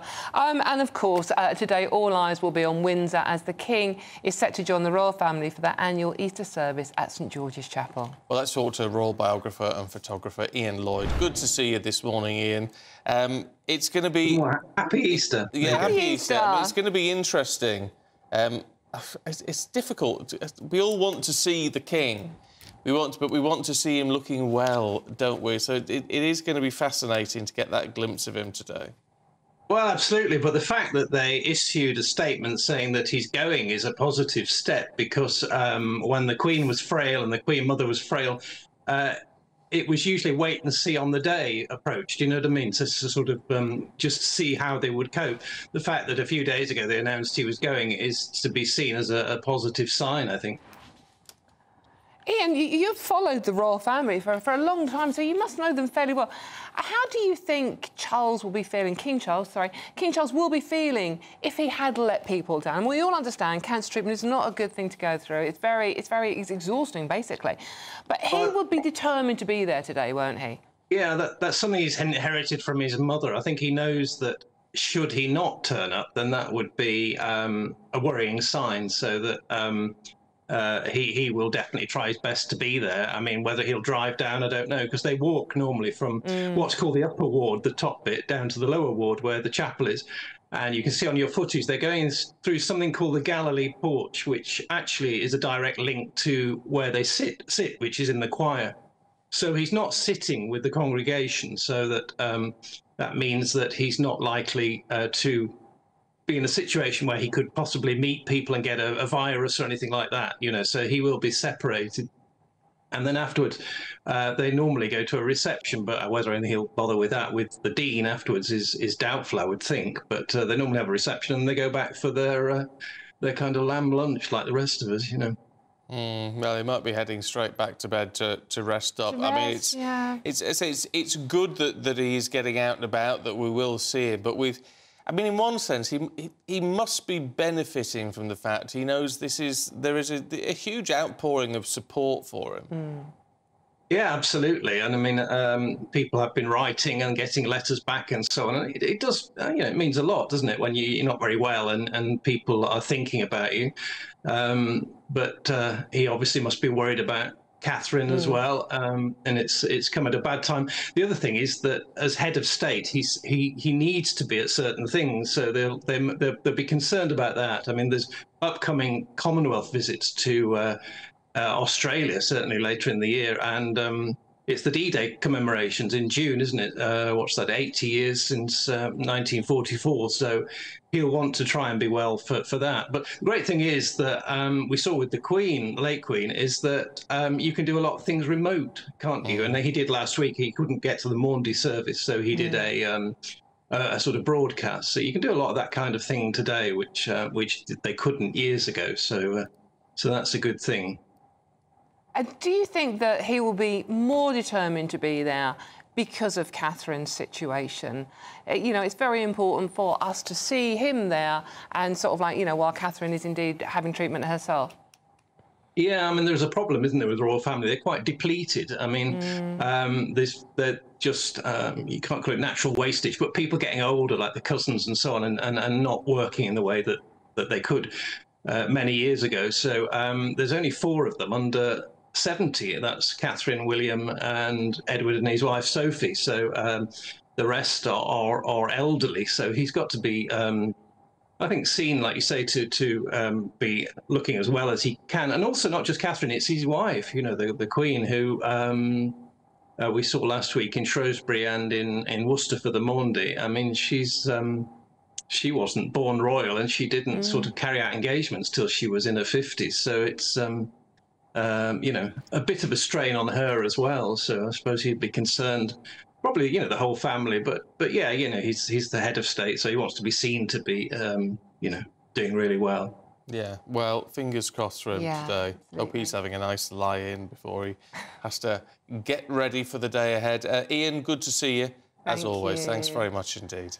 And staying with the Easter message, in today's ever increasing secular society, churches are finding it harder than ever to have their messages heard and congregations are shrinking. So it begs the question what role should churches play in a modern society? Our Northern Ireland reporter Dougie Beattie has been to an outreach ministry in Belfast that deals with addiction and homelessness.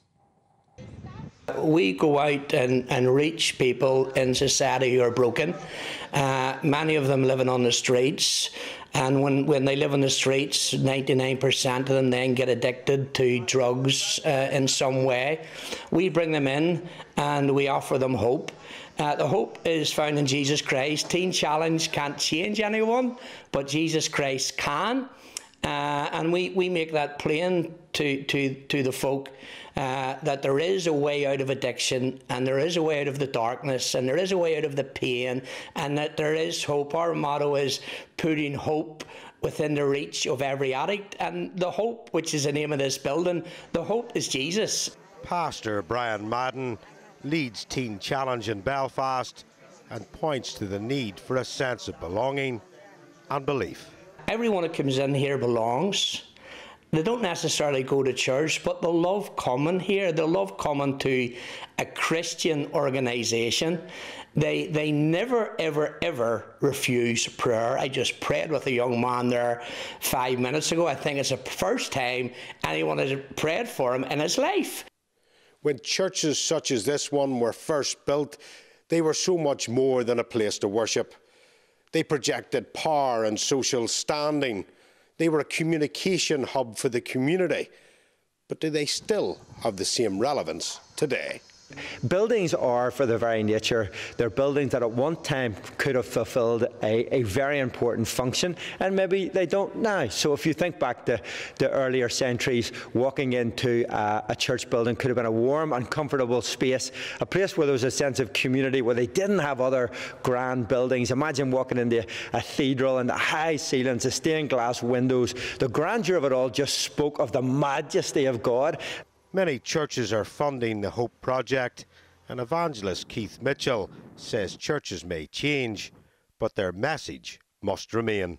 So our core principles shouldn't change, and our method should always be one in terms of what is the culture saying around us, and how do we engage in that culture in a way that we are we're living out love and grace, but also we're embracing truth. We're not compromising on truth, and I think the church has a radical message of hope to still bring to the world today, and we do that in lots of different ways. So you might be looking at an old building now and say, you know, how is this relevant? But it's from the cafe at the side, and when people come in here on a Thursday night to worship, they, they see something contemporary, they see something new, they see something fresh. And in the world today, people need hope, and the church champions hope more than any other religious organisation in the world.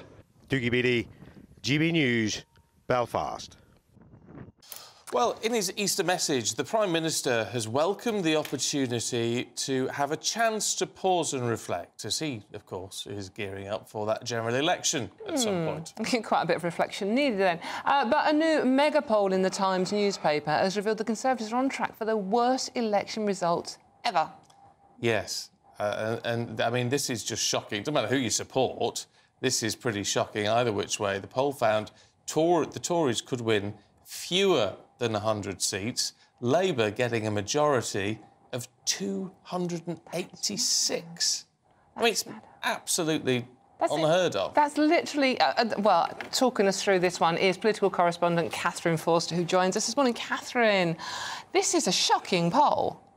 It's absolutely horrendous. And Rishi Sunak talking about reflection. Um, I imagine all Conservative MPs will be reading this on the front page of the Sunday Times and reflecting. And we know a few letters of no confidence have gone in. Uh, it's possible that after the May election, there might be a challenge to Rishi Sunak's leadership. But basically, there seems to be no way out because, as things stand, the Conservatives are set to be uh, wiped out completely in Scotland and Wales, only having seats in England. 98 of them. Uh, Rishi Sunak, his lead only about 2%, so within the margin of error, according to this MRP poll of 15,000 uh, people, which is done in a, in a very systematic way, which means that they tend to be reasonably accurate. Of course, things can always Mhm. change. Um, but a lot of Conservative big beasts cabinet ministers set to lose their seats too, including favourites for the leadership potentially after the next election, assuming they lose. Penny Mordaunt, James Cleverly, Grant Shapps, all forecast to be gone. Uh, the Chancellor, Jeremy Hunt, possibly might cling on by 1%, possibly not.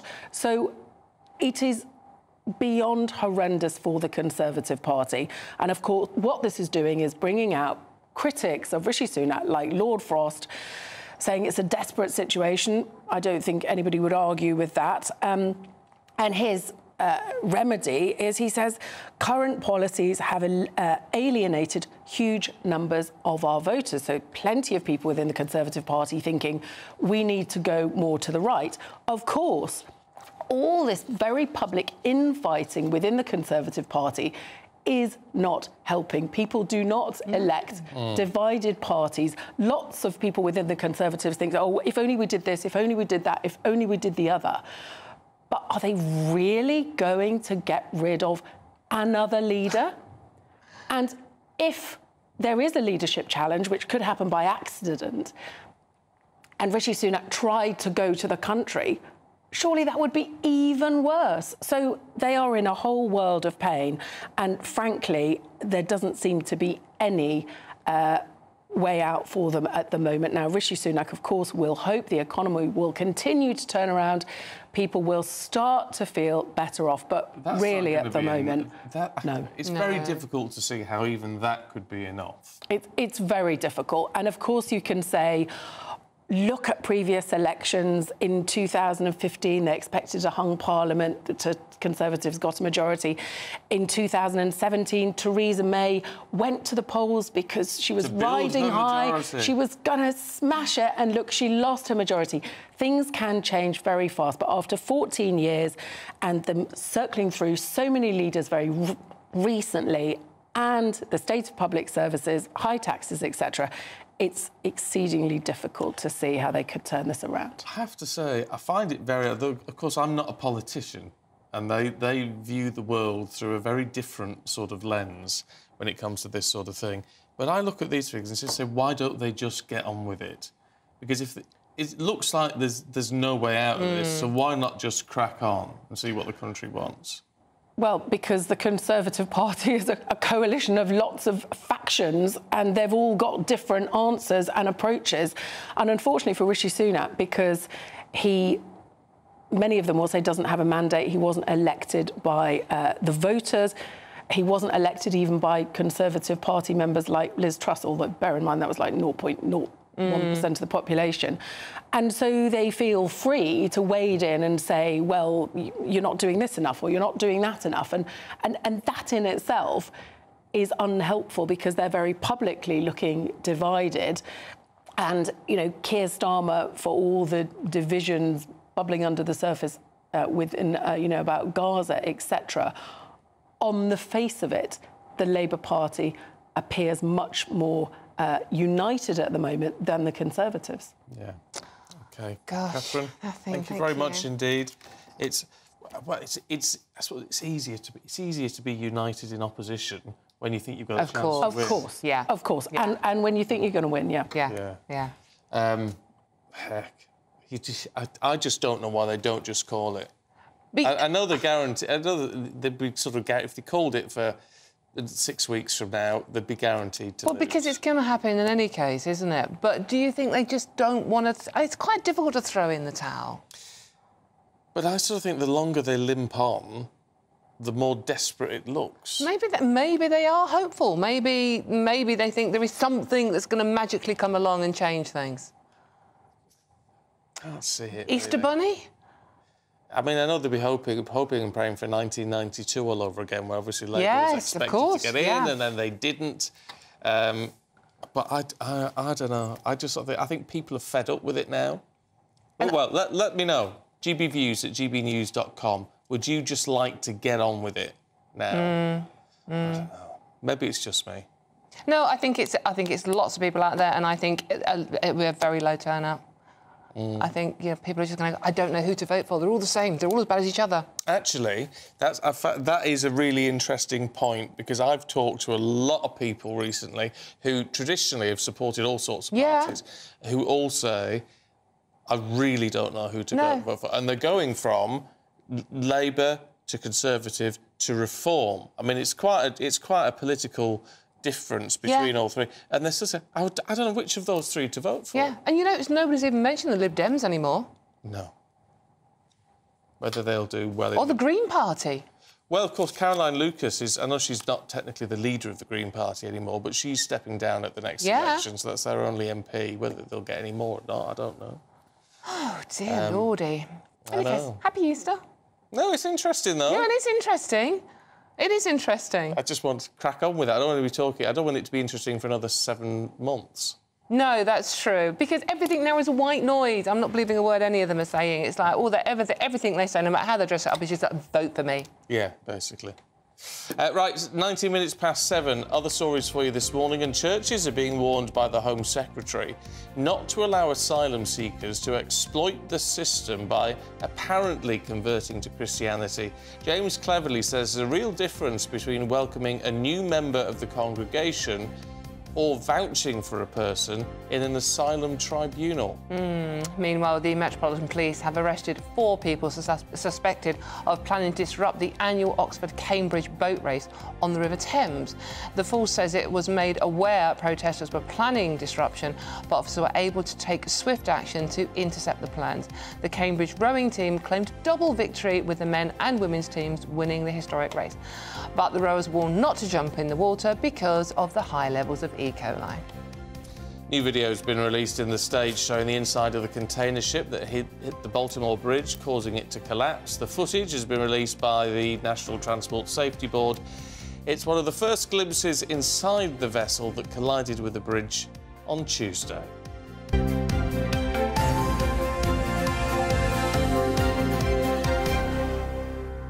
That's amazing, that footage in that boat. I still can't get... Did you saw the way that bridge collapsed was just... Oh, the way the bridge went. Oh, my God. Ter- ter- What do you want to drink? Let me do it. Because nobody's bought you anything. What do you want to drink? Still on air, though. Catherine Forster, our political reporter, who is also a very, very good hostess, um, um, is... What do you want to drink? Well, I'll have a, I'll have a, a, a black coffee with a splash of milk out the fridge. Hey, in it, Catherine. I'll, Catherine, I'll have our normal gin and tonics, love, if you're OK. You're, you see, this is what a lack of sleep does to you when the clocks change. You were still on the For, telly, darling. it's a lack of sleep and it's too much chocolate. We've gone to the weather. Oh, Let's that's hope very everyone's kind. having a lion. Elise, let's hope everyone's having a That's lion. Very kind, though. That's the end of year Christmas party blooper tape sorted in one festival. Love it. Love it. She's not stuffing her face, she's making coffee. oh, Right. she's brilliant. I love Uh, Catherine. all right, let's have a look at the weather. Here's Craig. A brighter outlook with Boxt Solar, sponsors of weather on GB News. Good morning. Welcome to your latest GB News weather forecast from the Met Office. Well, today, most of us, we do start the day with some sunshine, but it will turn increasingly cloudy, especially across the south. So we can see the sunshine across many parts of Scotland, Western England and Wales, but further east, there's already cloud moving in. That will spread its way gradually a little bit further westward. So for many central and eastern parts of England, a rather grey afternoon to come. Brighter elsewhere across England and Wales, but the best of sunshine really for Scotland and Northern Ireland. But here we will see a scattering of showers. Temperatures in the sunshine not doing too badly again, 14 or 15 degrees. Into the evening, we start to see this band of rain move in from the continent, and that really is going to give us a, a fairly wet night across many parts of England. That rain then spreads across parts of Wales too in the small hours of Easter Monday. But all the time, Scotland and Northern Ireland a little bit dry here, and in any clear skies, we will see a touch of frost. So for many parts of England and Wales on Easter Monday, it's going to be a pretty wet affair. Some of the rain will be heavy, giving some fairly poor travelling conditions in places. It does brighten up down towards Devon and Cornwall though, but all the time Scotland and Northern Ireland seeing the best of the weather on Easter Monday. A few spots of rain, but also some decent sunshine. And in the sunshine, highs at 14 or 15, but feeling pretty cool under the rain. That warm feeling inside from Boxt Boilers, sponsors of weather on GB News. So Catherine has actually gone and put the kettle on now. She's out there. I love, I love it when stuff like that She's, happens. oh, it's brilliant. This is what it's about. This is real, isn't it? I mean, you know, it's Easter. Sunday. Sunday it's morning. real. So she's, but she's, I promise you, she's eating so much chocolate this morning. I don't know what her She's probably hyper. So it's a combination of lack of sleep and hyper. That's a dangerous combination. It isn't. It? Anyway, it's the one day of the year when you can have chocolate for breakfast. Just not too Is it? much. well, we're going, we're going to be finding out if that's really true. Uh, we're speaking to a nutritionist in a couple of minutes.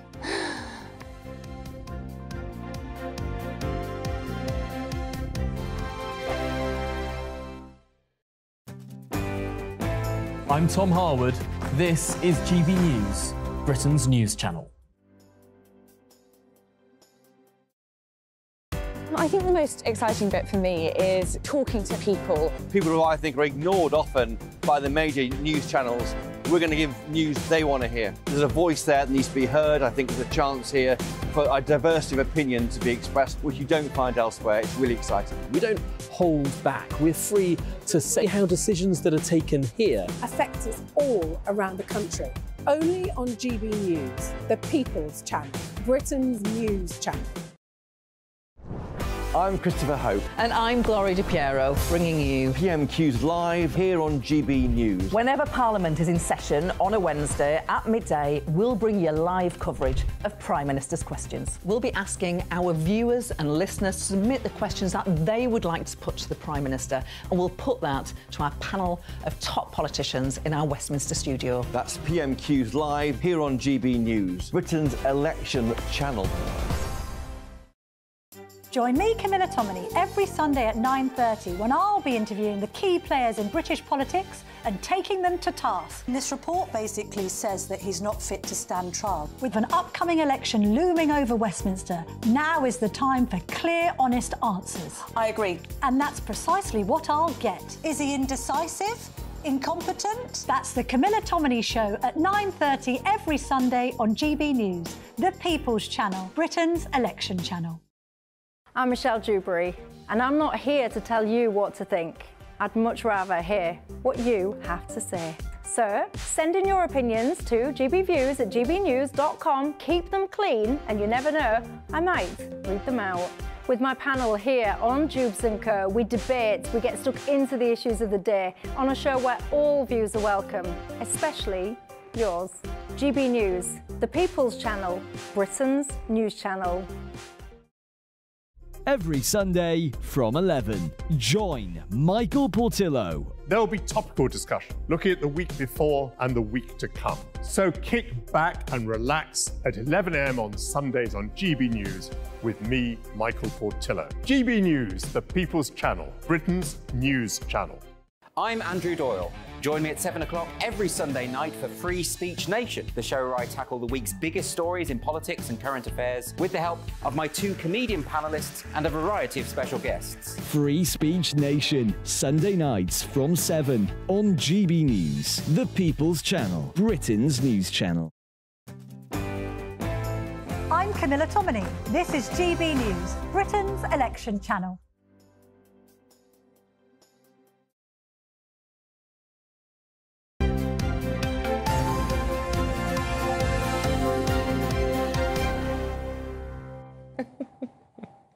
Sorry.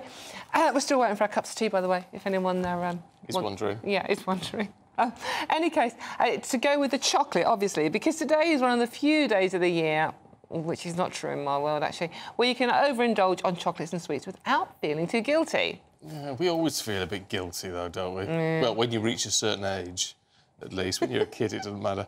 Um, many of us, of course, uh, waking up to chocolate eggs for breakfast. Um, I, we never did that as kids. We We never weren't allowed. No, we didn't. We had to wait. Especially Yeah, we you weren't to allowed wait. to eat them for breakfast. No. Anyway, uh, we may be thinking, is it OK to do so?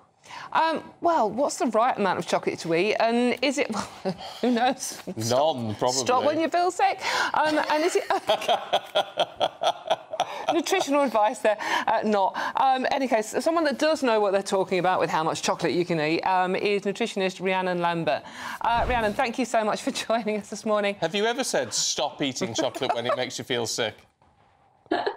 Morning. It's an interesting one, isn't it? I don't think I actually personally had chocolate eggs for breakfast either growing up. But um, what I will say is it, it's up to each household, isn't it? It's up to the parents who decide what their children do every day and equally how much. For instance, I think a lot of people a decade or two ago would have grown up with perhaps one or two chocolate eggs, whereas today I think there is definitely a rise in um, more quantity doing so. But let's be honest, if there's one day of the year that I think that chocolate for breakfast, and who, who put a rule on it really and said it, I guess you can't have it at breakfast, is okay, it's going to be on Easter Sunday. It's a one off. It most definitely, I hope, doesn't happen every single day. That's the thing, though, isn't it? Because we had all the Dr. Kelso from the NHS saying, uh, you know, don't eat a whole egg at once and all this sort of ridiculous things, actually, um, when, you, when you look at it. But it's all about this being a one-off day or perhaps a one-off weekend.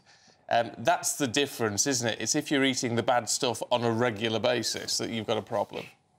Yeah, absolutely. And we've got to remember that I don't think anybody will feel fantastic after eating a whole chocolate egg anyway. Um, I think most people have a cut-off limit when they'll start to feel a little bit nauseous or they get that instant blood sugar drop after they've had the high from the fast-releasing um, sugar that's entered their bloodstream. But in all honesty, perhaps having it for breakfast might might be a better idea for some because they then go on to eat their normal lunch and dinner and end their day without a sugar rush. Um, but for some, it might continue all day long, and I'm not demonizing that either.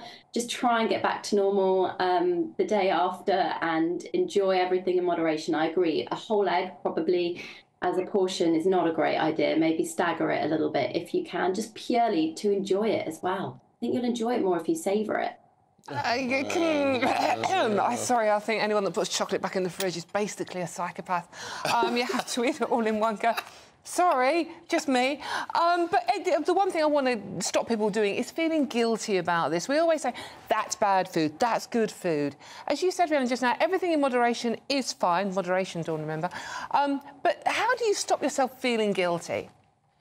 So the psychology and food work hand in hand. That's something I do all the time in my nutrition clinic is have a think about how you view the world of food and the food rules you put on yourself. And actually an exercise I do use for some clients sometimes who feel that they want to go cold turkey on an item to stop them doing that because I think that does instill a bad relationship with Mm. food. It's impossible for anyone to say I'm never ever ever going to eat chocolate again if they love chocolate. I just think that instills an unhealthy relationship with food. You're much better off almost trying to have it for breakfast, for instance, seeing how you feel, getting it out your system. I'm not saying this is an overnight change. Psychology is deeply rooted and it can take a long time if you turn to food as a coping mechanism. But if you introduce that sugar in the morning and realize it doesn't make you feel your best, but hey, you had a bit and you know it's not out of bounds, you're less likely to overeat. There is research that suggests if you allow yourself enjoyed items, you are less likely to binge and develop that Mm. unhealthy relationship with food. Yeah, uh, it's good. le- It's a good lesson. Rhiannon, great you. to talk to you this morning. Thanks very much indeed. Happy Easter. Happy Easter. She's She- she's off now to have an egg. She, no, she looks like in the mood. she is very gorgeous. She looks very fit. She looks like she's off to have an Easter carrot or something or other. No, I don't- um, do you know? You've got to. I think if, if you're talking to a nutritionist, you need them to look healthy. That's true, actually. Yeah, That's true. Otherwise, yeah, it'd that be is something true. To worry, there'd be Otherwise, yeah. something to worry about, Yeah. wouldn't there? But you've got to. I think that's absolutely right. We're not saying don't cut it all out. Don't say you can't have any of that. You That is just- just dangerous moderate it. relationship with anything, isn't it? It's like, right, I'm never eating chocolate again. It's like, you know, it's it's it's not healthy. A little bit of what you fancy does you good, doesn't it, Stephen? Oh, it does. It certainly does.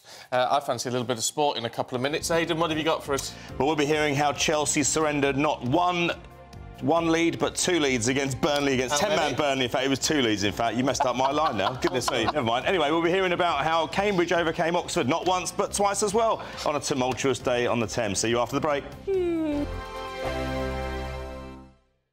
This is GB News, Britain's news channel. Is the brand of toothpaste super important here, or is it more about the toothbrush? Because I was told a long time ago by my dentist, electric toothbrush, Pip, that is the way to go. You're exactly right. I mean, the action of mechanically removing plaque, so using a brush, is much more effective than the brand of toothpaste itself. But in terms of the ingredient in toothpaste that we're looking for, it's something called fluoride. And fluoride is essential to help remineralize and strengthen our teeth. It's really important to use a toothpaste with fluoride. And in terms of brushing, using an electric toothbrush is just much easier. You know, you're brushing your teeth first thing in the morning, last thing at night. You're going to be a bit tired in those times. So, using an electric toothbrush, you just hold it against your tooth and gum and it does all the work for you. So, it's just much easier, in my opinion. But you have to use your electric toothbrush properly. You're exactly right. Yeah, there is a technique of actually brushing your teeth, although it sounds really simple. With an electric toothbrush, you have to hold it against the tooth and the gum. Ideally, you want a pressure sensor in that toothbrush so you know exactly when you're pressing too hard. But if you're using a manual toothbrush, you need to move it around and small circular motions. But actually, what I see is people who use manual toothbrushes, they tend to over scrub and over brush, which can actually lead to gum recession and your enamel thinning long term. Sometimes I will get up in the morning and I will have breakfast and then I'll brush my teeth. Is that wrong? Unfortunately, that's wrong. So, the best time to brush your teeth is first thing in the morning, as soon as you wake up. If you're brushing after you eat and after breakfast, you're brushing your teeth in that weakened acidic state. So, your teeth are actually under attack and they're much more vulnerable. I'm Michelle Dewberry, and I'm not here to tell you what to think. I'd much rather hear what you have to say. So send in your opinions to gbviews at gbnews.com. Keep them clean, and you never know, I might read them out. With my panel here on Dewbs & Co, we debate, we get stuck into the issues of the day on a show where all views are welcome, especially yours. GB News, the People's Channel, Britain's news channel. Big news, big debates, big opinion. Patrick Christys Tonight is the week's biggest show. Every weekday, 9 to 11 pm, we've got the inside track on the day's top stories. There'll be sharp takes you won't get anywhere else. We will set the news agenda, not just follow it, and I want to bring you along for the ride. Whatever it is, we'll have our finger on the pulse. It's news, but it's this close to entertainment. Patrick Christys Tonight, 9 to 11 pm, only on GB News, the People's Channel, Britain's news channel.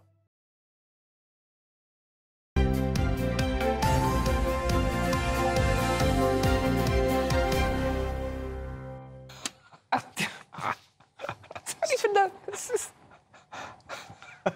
Aidan Magee's Oh, here. God. Oh, you won't believe Oh, this. dear. Terrible, terrible. Oh, Thank heavens we're on a break there. goodness. Hope, hope our mics are down. uh, Aidan's got the sport for us this morning. Should we talk? No, Dawn's No, no, no, no, no. about West La, la. Ham. La, la. Oh, Oh, what an goodness me. awful, awful time they've had. I used to write the ratings for The Sun about 20 years ago and used to have to write about half a sentence or maybe half a Mhm. paragraph for each player and give them a mark out of 10. Yeah. If I was assessing Kalvin Phillips yesterday, and this guy has had a not one, not an annus horribilis, probably about a, a, whatever a double annus horribilis is, because ever since Euro 2020, which was played in 2021, his career has really gone off the rails. I mean, he went to um, Leeds United, didn't work out for him, being injured all the time. Went to West Ham, didn't perform, lost his place in the England squad to Kobbie Mainoo. Looks like even though Gareth Southgate has given him every time, Mm. every chance to get into the England squad, it's not worked out this this move to West Ham. So he comes on yesterday, as you know, Dawn, with 21 minutes to go. West Ham are leading 3-1 at Newcastle United. And then he gives away a penalty straight away. It turns the game. When you've got a packed house there, Stephen, you give you give anyone an inch, they take a mile, right? Mhm. Newcastle got it back to 2-2. They scored three goals in 14 minutes. It was a massive VAR delay. Everything went against the Hammers. And Newcastle ended up edging a seven-goal thriller. And David Moyes was asked afterwards, you know, what do you think of that substitution? Because as far as inspirational changes goes, it wasn't exactly up there. And he said, and the back page of the Mail on Sunday, Kalvin did not work, admits Moyes, and in brackets, you can say that again. It was absolutely awful. Yeah. I remember there was a player called Zat Knight of Fulham. He gave away a penalty. He, what else did he do? He scored an own goal and he got sent off all in the first 15 minutes of a game I attended in 2004. I gave him 3 out of 10 and wrote, It is difficult to imagine a worse performance than this. That might be. We rose to the yesterday. challenge there. Thank you very much, Aidan. So yeah, thrilling game, but, but a thrilling game nonetheless. Seven seven goals uh, there, Yeah. and we need to look as well at Chelsea because the, the the back page of the Mail on Sunday, bottle jobs is the the line there. Now Pochettino, the manager at, at Chelsea, made this quite outlandish claim in the week. He said that based on the statistics, his own dubious statistical analysis, Chelsea, who are currently 11th in the table, should be in the top four. Now, yes, based on chances created, they probably should be, but that's an attack on his strikers because clearly they're not hmm. putting the ball in the net. Yeah. And that's what you have to do. That's the aim of the game, right? So they're now in, in 11th place where they roughly hovered all season. They spent a billion pounds in the last 15 months or so. And they failed to dispatch Burnley, who are right at the bottom of the league. They had 10 men yesterday. They took the lead twice. And Pochettino said in his press conference, it wasn't as much what he said, but he said sometimes it's more about this than it is about this, talking about the, Yeah. the heart and the legs. And that, for me, we talked about mentality, we talked about determination, we talked about psychology earlier on. For Manchester United, you can probably read Chelsea right now. All right. Is Pochettino is he on his way out then? Um, no, look, I, th- I, I've never known a, manager go into a club and engender so much good feeling. So he's, he's, he, some, some would say he's getting a real extended honeymoon period. There are, the problem with Chelsea is every three or four games you might see hope or, or glimmers that they might they might be undergoing a resurgence. Finally, they're looking like Pochettino's side. But when they can't dispatch Burnley at home yesterday, and with nine games to go now, Stephen, they're leaving it very late to do anything. They got to the cap to the uh, Capital One Cup final, of course, but beyond there. It's, it's been a, another dismal season for them, really, I would argue, and I wouldn't be surprised if he wasn't there beyond this summer. Oh, Chelsea was the only thing that cheered me up yesterday, frankly. to be honest with you. Oh dear. Well, well, I mean, it's sad, I know. Um, we've got uh, Liverpool Yes. today uh, facing Luton. Is, is, is this in a? Do you think this Brighton. is a? Oh, sorry, Brighton. That's, is that's wrong on that. I don't know. What, that's that's Oh, not your fault. Luton, no. Um, This would be the note you Is it wrote a- down, is it a- No, no, it wasn't me. It wasn't me. Ah. No, I won't, I won't name him. well, I'm trying to pretend I know what I'm talking about, not just reading notes. is this a really pivotal day? In the Yeah, well, it, well, it is because uh, you know everyone, all eyes are on Man City and Arsenal, of course, for obvious reasons. We, we discussed that last hour, didn't we? But Liverpool face Brighton at two o'clock today, and so that means they kick off two and a half hours before. They have to win that game to put daylight between themselves and the other two teams because it's a three-way three-way title race. They know today that someone has to drop points. Someone is going to drop at least two points today.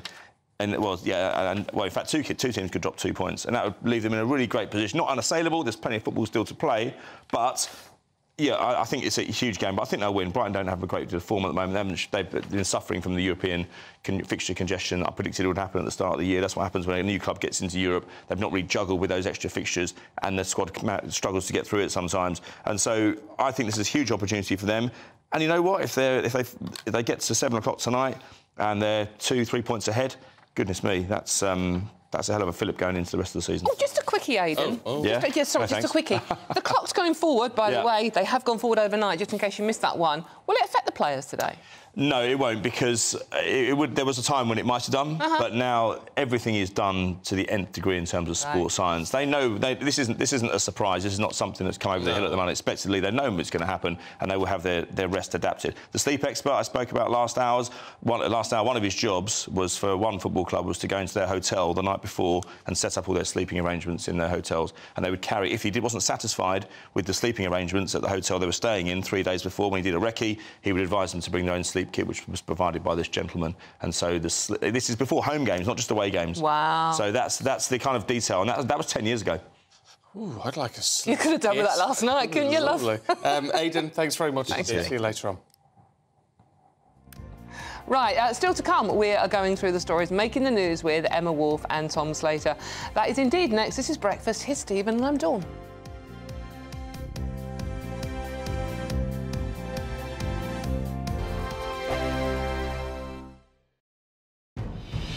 afternoon, Britain.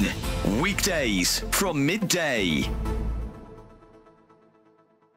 So many of you have been getting in touch over the WASPI issue. And actually, I just want to bring forward a view from Tony, uh, who has written in to say uh, something that we haven't included in this conversation Go on, so then. far. Tony says it was well publicised. Stop all the crying. His words. He says the Pensions uh-huh. Act 1995 provided for this change.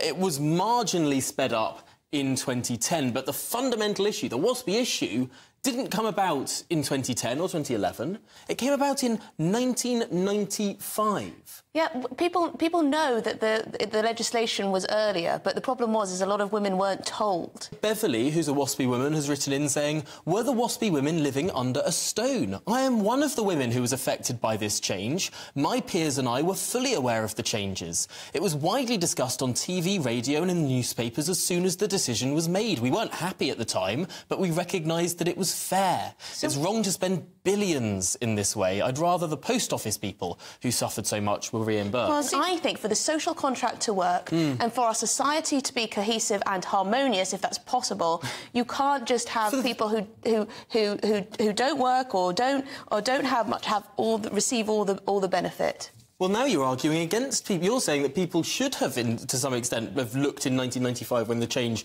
happened. But, but fundamentally, it's not just it's not just WASPI women who've been screwed over since the financial crisis. We have a 70-year high tax burden. Someone earning uh, 60,000 pounds this year will pay more tax than someone earning 60,000 pounds has ever spent uh, has ever had to pay Yeah, before. but Tom, Tom you These do realise this isn't the first time that we've well. had hugely high uh, tax rates on income. Join me, Camilla Tominey, every Sunday at 9.30 when I'll be interviewing the key players in British politics and taking them to task. This report basically says that he's not fit to stand trial. With an upcoming election looming over Westminster, now is the time for clear, honest answers. I agree. And that's precisely what I'll get. Is he indecisive?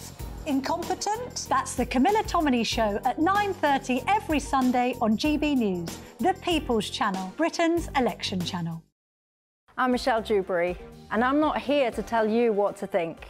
I'd much rather hear what you have to say. So send in your opinions to gbviews at gbnews.com. Keep them clean, and you never know, I might read them out. With my panel here on Dewbs & Co, we debate, we get stuck into the issues of the day on a show where all views are welcome, especially yours.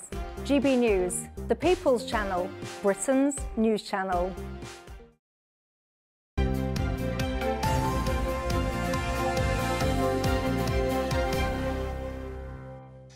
7.45, let's have a look at the papers this morning with the journalist Emma Woolf and the editor of Spiked, Tom Slater. Good morning, Good morning. good morning. Um, something not very jolly on the front of the Sunday Times, Mm, Emma. mm. Half a million children um, on antidepressants. Yeah, really worrying story. I mean, we know that mental health amongst the young has been, you know, a, a bit of a a bit of a crisis for a while.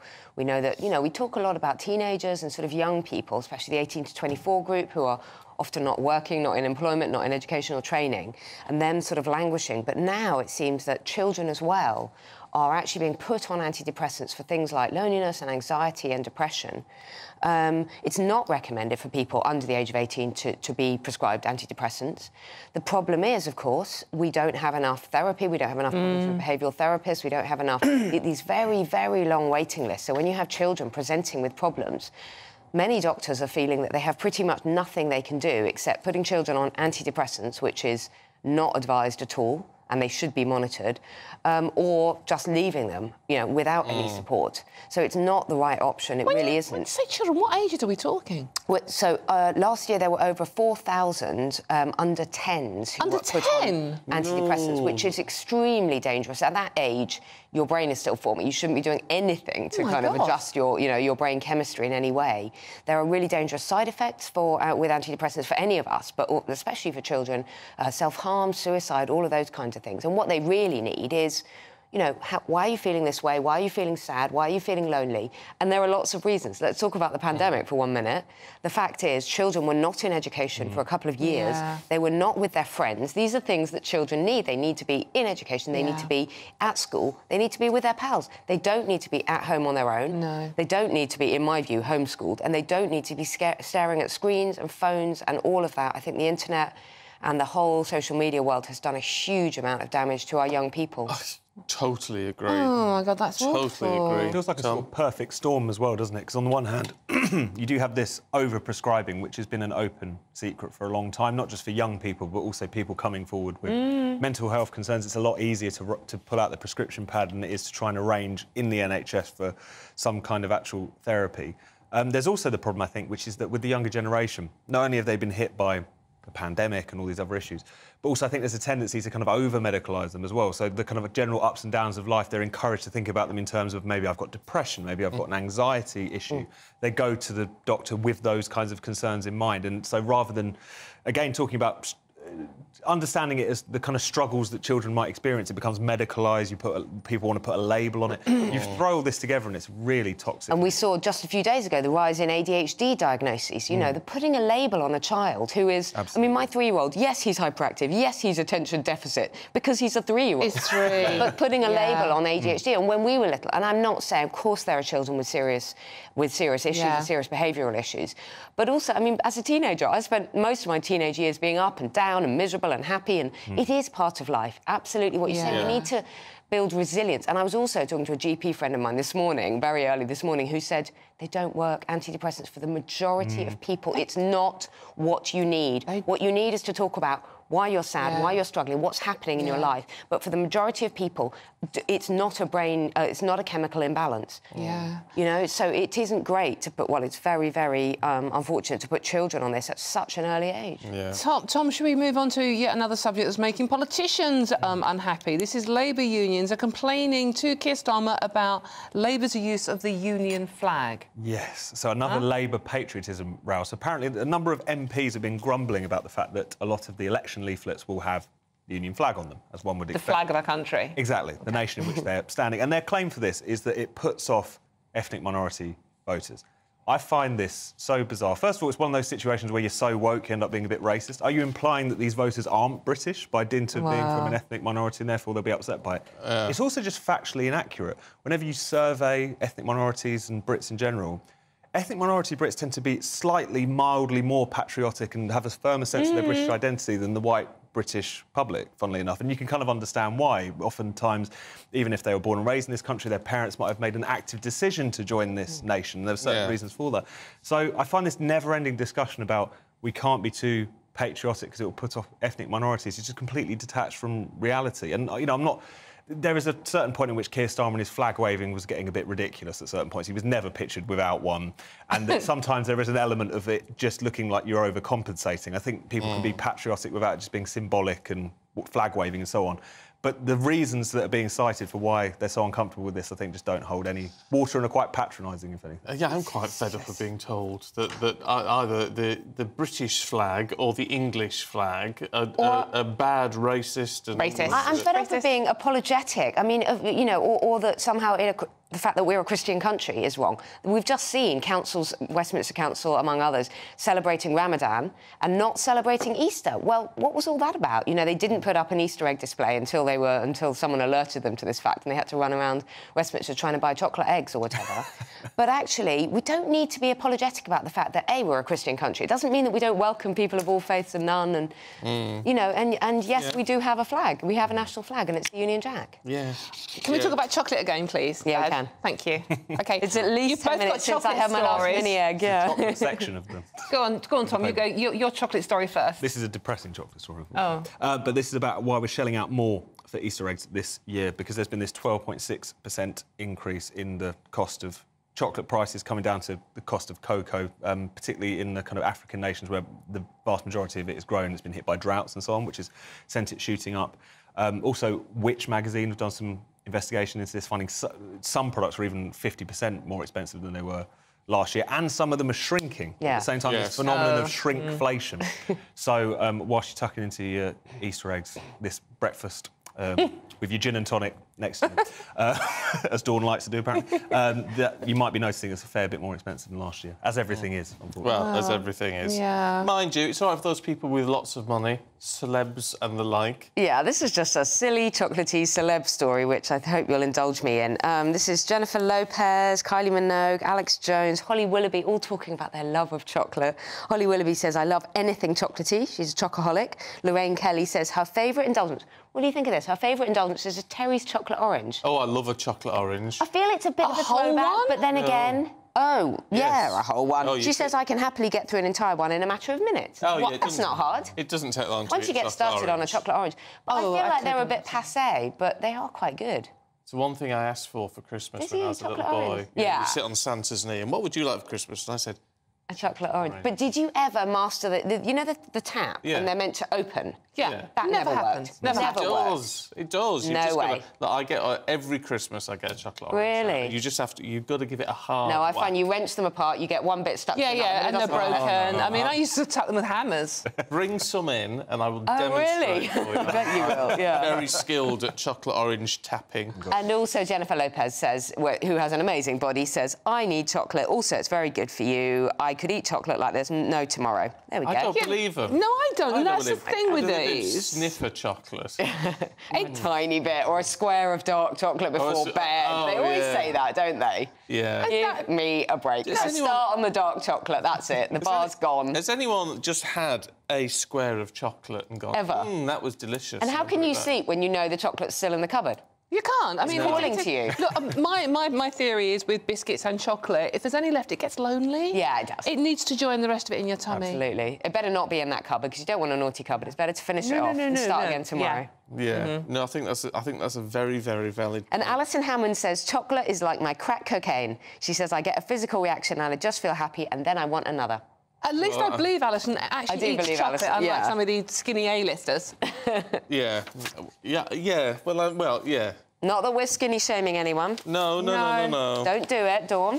yes, I did. Sorry. No, we don't fat shame anyone, so we don't skinny shame anyone. No. Fair point. Here's the weather.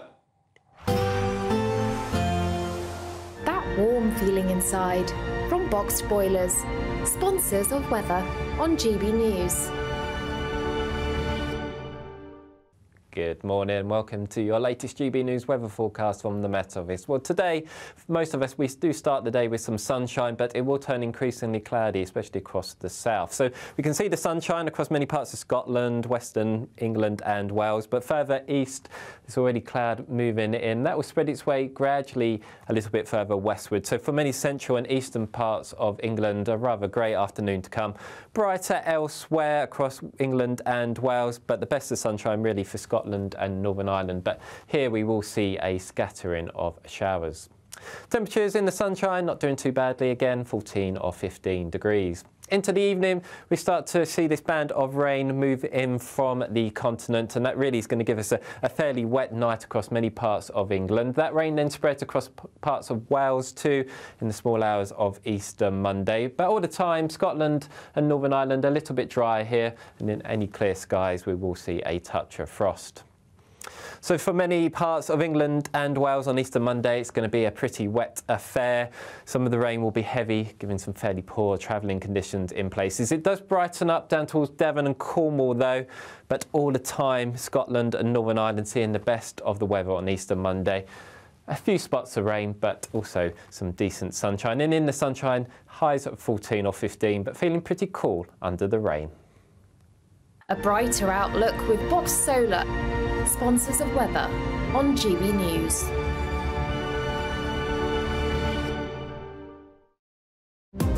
GB News is the home of free speech. We were created to champion it, and we deliver it day in, day out. Free speech allows us all to explore and debate openly the issues most important to us, our families, and of course, the British people. having challenging conversations to enlighten each other. Which is why we hear all sides of the argument. We are the People's Channel. We will always stand by the freedom to express yourself. On TV, radio, and online. This is GB News. Britain's news channel.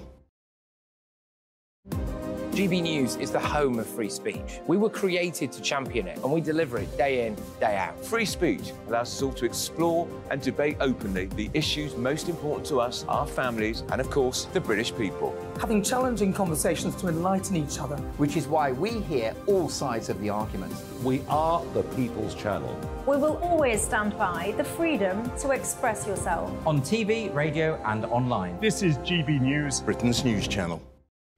2024, a battleground year. The year the nation decides. As the parties gear up their campaigns for the next general election. Who will be left standing when the British people make one of the biggest decisions of their lives? Who will rise? And who will fall? Let's find out together. For every moment, the highs, the lows, the twists and turns. We'll be with you for every step of this journey. In 2024, GB News is Britain's election channel. Your weekend starts here with Friday Night Live with me, Mark Dolan, 8 till 9 on GB News. Big stories, big guests, and big laughs as we get you ready for a cracking weekend. That's Friday Night Live with Mark Dolan. Fridays 8 till 9 on GB News. Bring your own drinks. The admission's free. Every Sunday from 11, join Michael Portillo. There'll be topical discussion looking at the week before and the week to come. So kick back and relax at 11am on Sundays on GB News with me, Michael Portillo. GB News, the People's Channel, Britain's news channel. Big news, big debates, big opinion. Patrick Christys Tonight is the week's biggest show. Every weekday, 9 to 11 pm, we've got the inside track on the day's top stories. There'll be sharp takes you won't get anywhere else. We will set the news agenda, not just follow it, and I want to bring you along for the ride. Whatever it is, we'll have our finger on the pulse. It's news, but it's this close to entertainment. Patrick Christys Tonight, 9 to 11 pm, only on GB News, the People's Channel, Britain's news channel. I'm Andrew Doyle. Join me at 7 o'clock every Sunday night for Free Speech Nation, the show where I tackle the week's biggest stories in politics and current affairs with the help of my two comedian panelists and a variety of special guests. Free Speech Nation, Sunday nights from 7 on GB News, the People's Channel, Britain's news channel. I'm Christopher Hope. And I'm Gloria De Piero, bringing you PMQ's live here on GB News. Whenever Parliament is in session on a Wednesday at midday, we'll bring you live coverage of Prime Minister's questions. We'll be asking our viewers and listeners to submit the questions that they would like to put to the Prime Minister, and we'll put that to our panel of top politicians in our Westminster studio. That's PMQ's live here on GB News, Britain's election channel.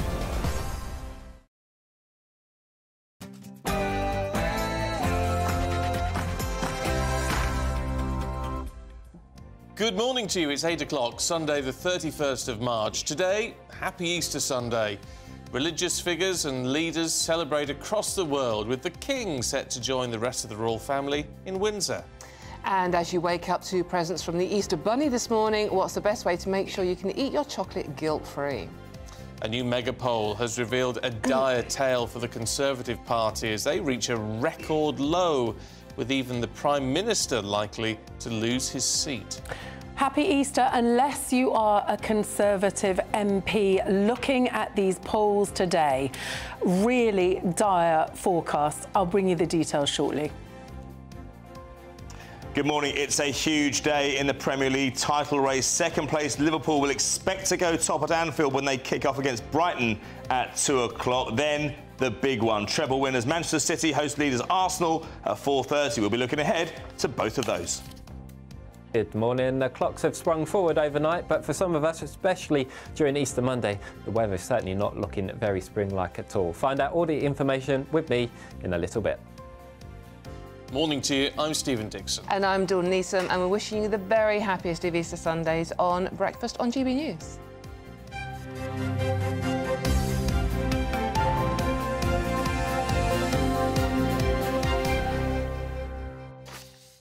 Interesting on the clock change today, because Mm. we were talking to a sleep expert earlier on, and the, and the sort of premise was, oh, it can be very dangerous and dangerous on the roads, and how do we make it all safe and all the rest of it. Robert's been in touch and says uh, many people live their lives going short of sleep. No one wants accidents on roads, at work, in the home, but you make this one hour sound like a national disaster.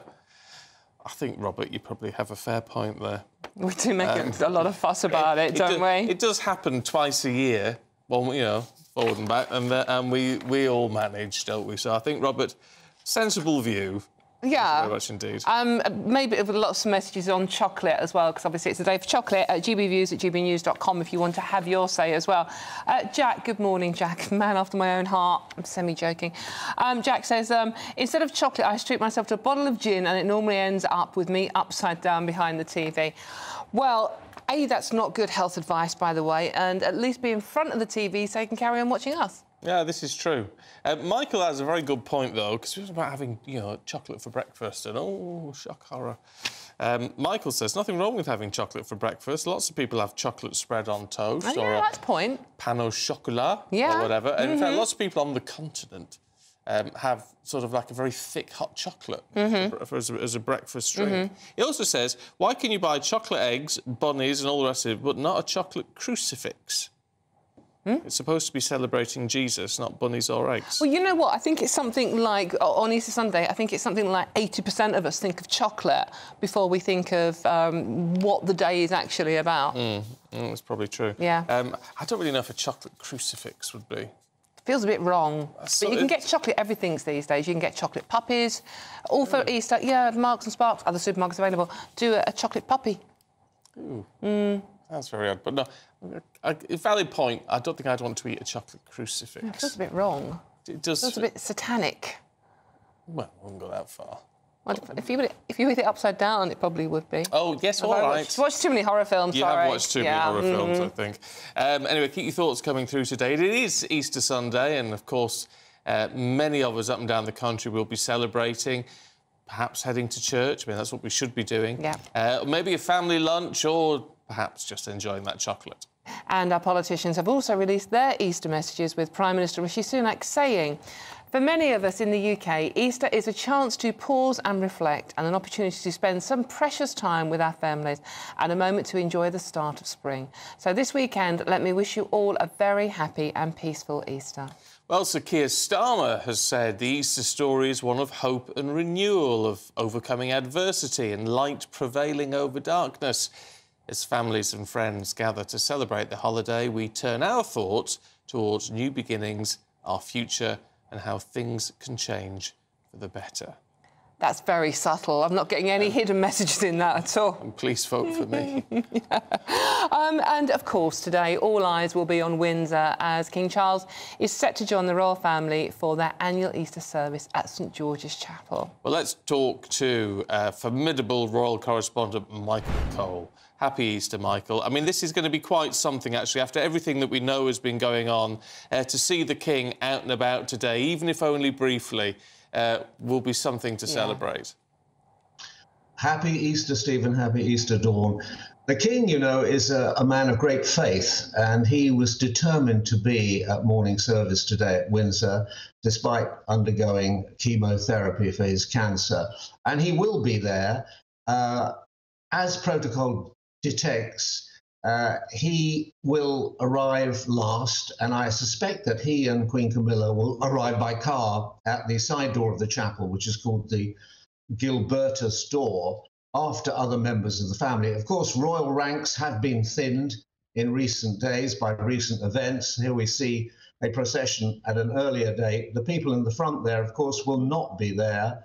Uh, the Prince and Princess of Wales and their children are Anmer Hall uh, on the Sandringham estate. I doubt that they will be seen. I doubt that they will go to St Mary Magdalene uh, Church at Sandringham for the morning service. Um, but other people will be there, uh, to the dismay of some, of course. Uh, the Duke of York, Prince Andrew, will probably be front and centre because, in the absence of the Waleses and the Sussexes and their children, also in California, um, he is the ranking royal. He's eighth in line to the throne, and his natural position would be at the front of the parade. That won't please everybody, of course. And uh, I'm quite sure that his ex wife, Sarah, Duchess of York, will be there. And of course, we mustn't forget that she is the third member, although a semi detached member of the royal family, to be, to be undergoing cancer treatment. She had breast cancer last year, and it was recently revealed she had skin cancer. So,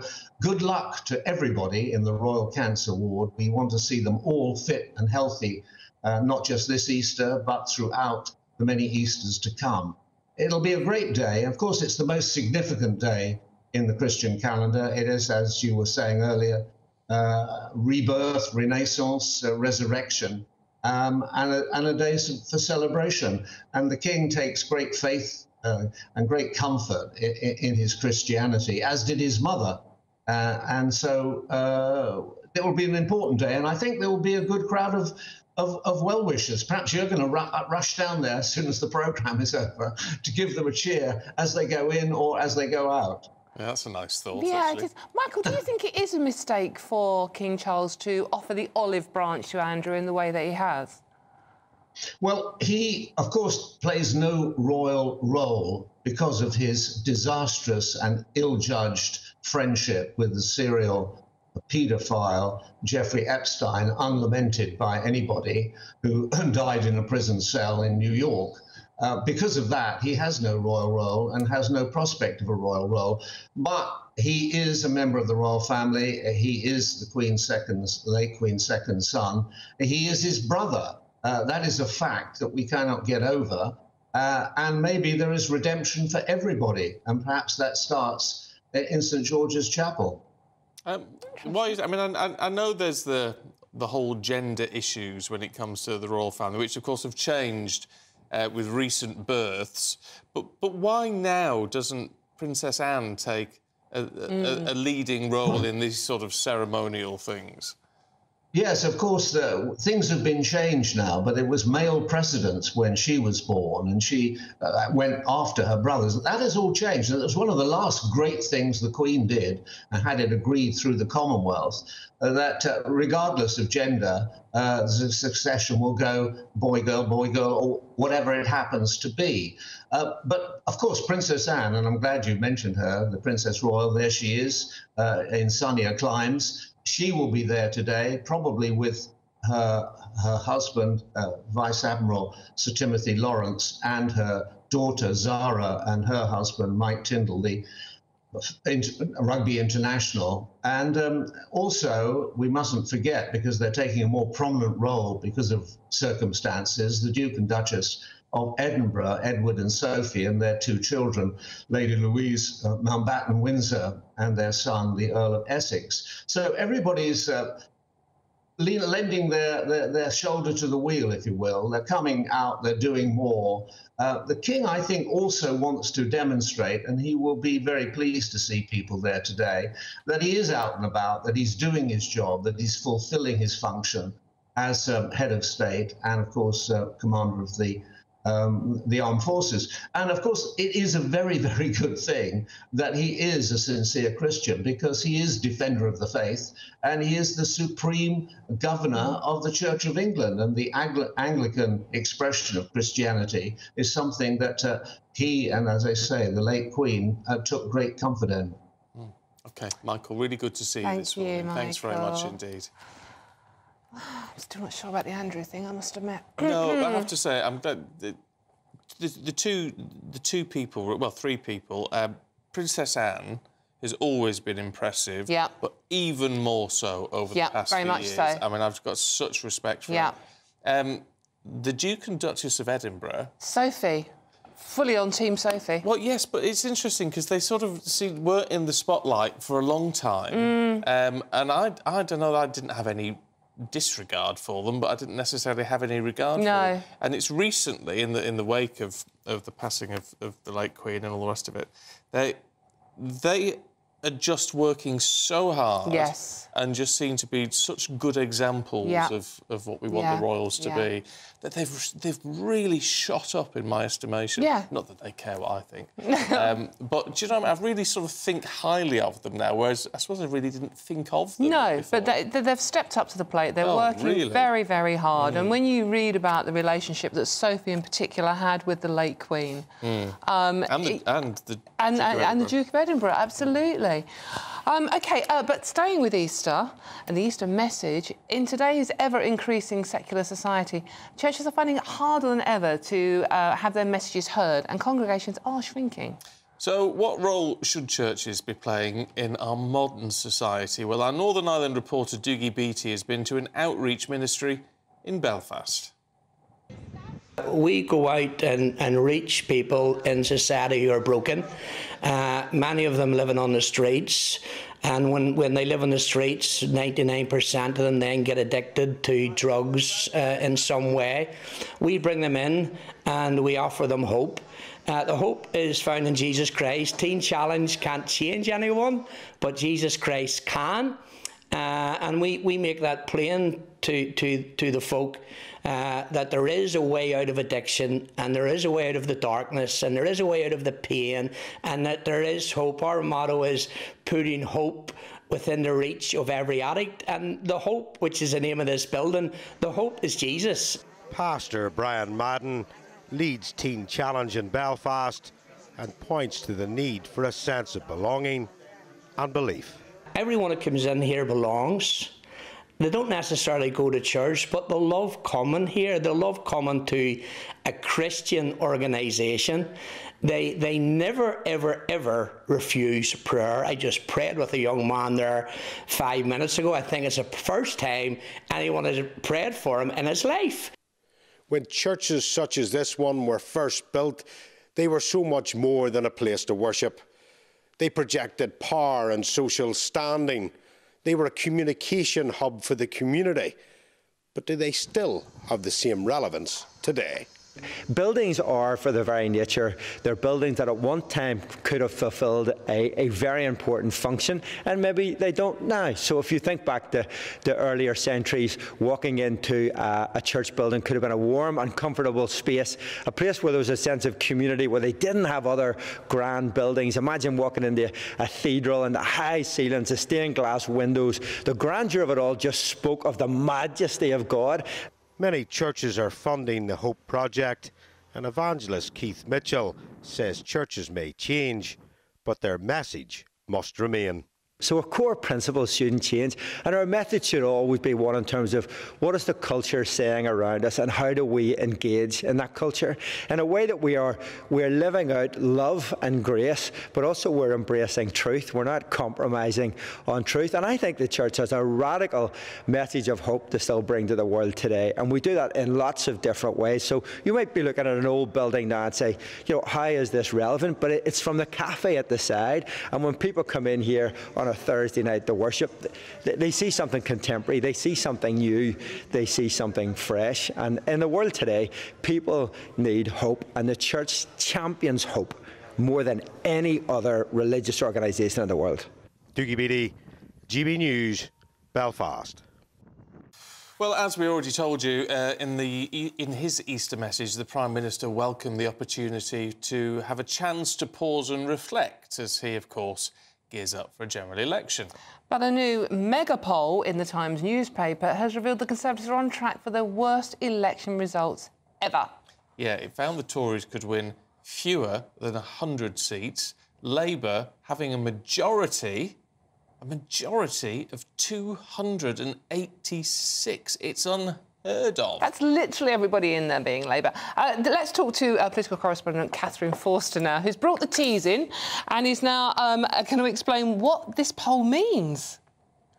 It's the most catastrophic news, basically, for the Conservative Party. Rishi Sunak talking about reflection. He'll be trying to take a day or so with his family.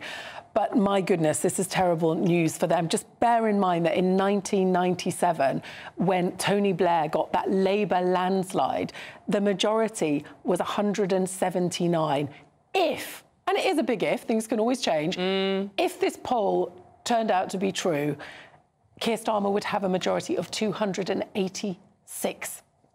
And as Sir Geoffrey Cox, pardon me, said to our political editor Chris Hope a week or so ago on his podcast, it's not necessarily a great thing for any democracy for a party to have such a huge majority because parties often will make bad decisions and if you have a massive majority you can get pretty much anything through. But if this comes to pass, there will be no Conservative MPs in Scotland or in Wales. And, and looking at the map of this poll, even England, where you've normally got large swathes of blue in rural areas and down south, it's pretty much red in most places. Rishi Sunak may or may not cling on in his North Yorkshire seat. The Chancellor, too, both within the margin of error, but lots of very big beasts who might like Rishi Sunak's job uh, after the Conservatives lose, assuming that they do. People like Penny Mordaunt. Mm. Uh, leader of the House of Commons, people like James Cleverly, the Home Secretary, people like uh, Grant Shapps, the Defence Secretary, all set on these projections to lose their seats. Um, the one Tory leadership hopeful who looks pretty sure to hang on is Kemi Badenoch, mm. the Business Secretary. But interestingly, this poll uh, polls have also suggested that um, if she was put in charge now, that would increase mm. the Labour lead in the polls right. by four percent. So there seem to be no good options for the Tories at the moment. People like Lord Frost, big Rishi Sunak critic, saying, desperate situation, current policies have alienated huge numbers of our voters. But what do they do? Because if they really take out another prime minister, that will add to the feeling of chaos. Is that really a good idea? Yeah, uh, it, it absolutely would. I mean, the, the problem is with this, and I think it's partly it's a bigger problem because we, the public, are much more savvy than we used to be. Um, and the fact now that you have and will have, I mean, in a way, what else can they say? But you get Tory MPs on, you get ministers on, all mm. who, who then will say, of course we're fighting, of course we can win this election, when everything everything says you don't stand a chance of, of getting back into power. This is where pe- the distrust continues because it's like you, you're not being even remotely honest with us. Well, I suppose they're not going to say yes, we're going to lose, but I mean, it's that catch twenty two, isn't it? It is, and of course they can't say that, can they? They can't say they've given up, though clearly. Uh, a lot of them, the prevailing mood seems to be that they feel that they are doomed. Um, and we've had what well over 60 Conservative MPs now say they're not standing again. Now, of course, it always happens, but the numbers are high, and a lot of them are people that have not been in Parliament for for very long. Uh, and we've had James Heappey, who was. Um, the Armed Forces Minister and Robert Halfon, who was a minister, stepping down on the same day mm. from those positions, not standing again in the next election. But yeah, they, they can't admit it, but what do they do? Is there any way of triggering, of forcing Rishi Sunak's hand? Even if in the wake of, say, May the 2nd and dreadful results? They can put in their letters of no confidence to Sir Graham Brady. We know that some have. Andrea Jenkyns, uh, very publicly, many months ago, and some estimates that there's over 20 letters gone in. Truthfully, no one knows except Gray, Sir Graham Brady. But if they trigger a no confidence vote in May, and he wins, he probably will win, but he will be weakened, which will damage them further. Uh, if he chose to walk away, well, I can't see it happening. But if they had somebody, who would they put in place? Mm. Because there is no agreement for who their best bet would be. Now, Penny Mordaunt seems to be the person who's feared most by Labour, but it looks like she's probably set to lose her seat, mm. maybe.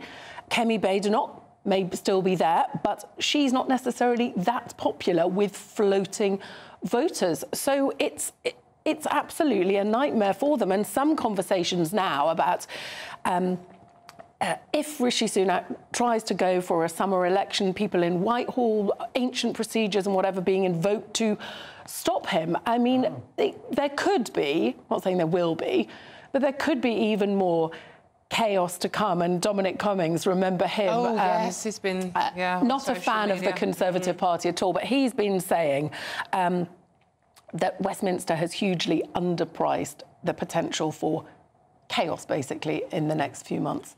So just when they think it couldn't get any worse, um, very possibly could.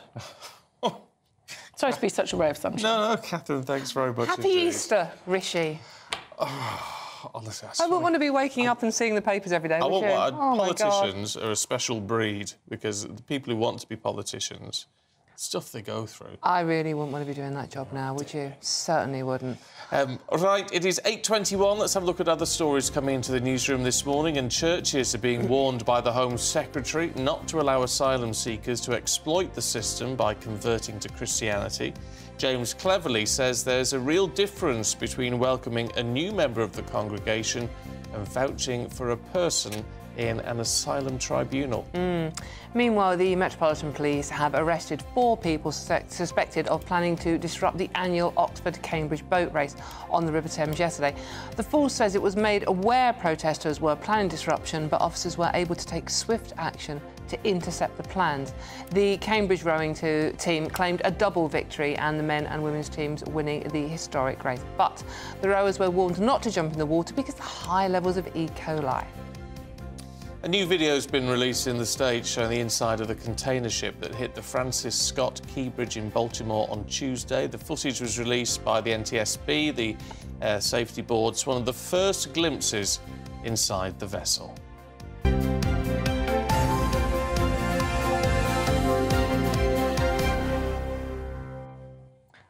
That footage of that bridge and the inside the boat is amazing. And oh god! And I wouldn't want to be the divers going down to find the people that were still missing. No. Horrible, it's isn't a it? very grim task. It's going to be a very long Yeah. task to get it sorted out. Mm. All Godspeed to them. Yeah. Um, right, let's see what the weather's going to do for you today. Here's Craig.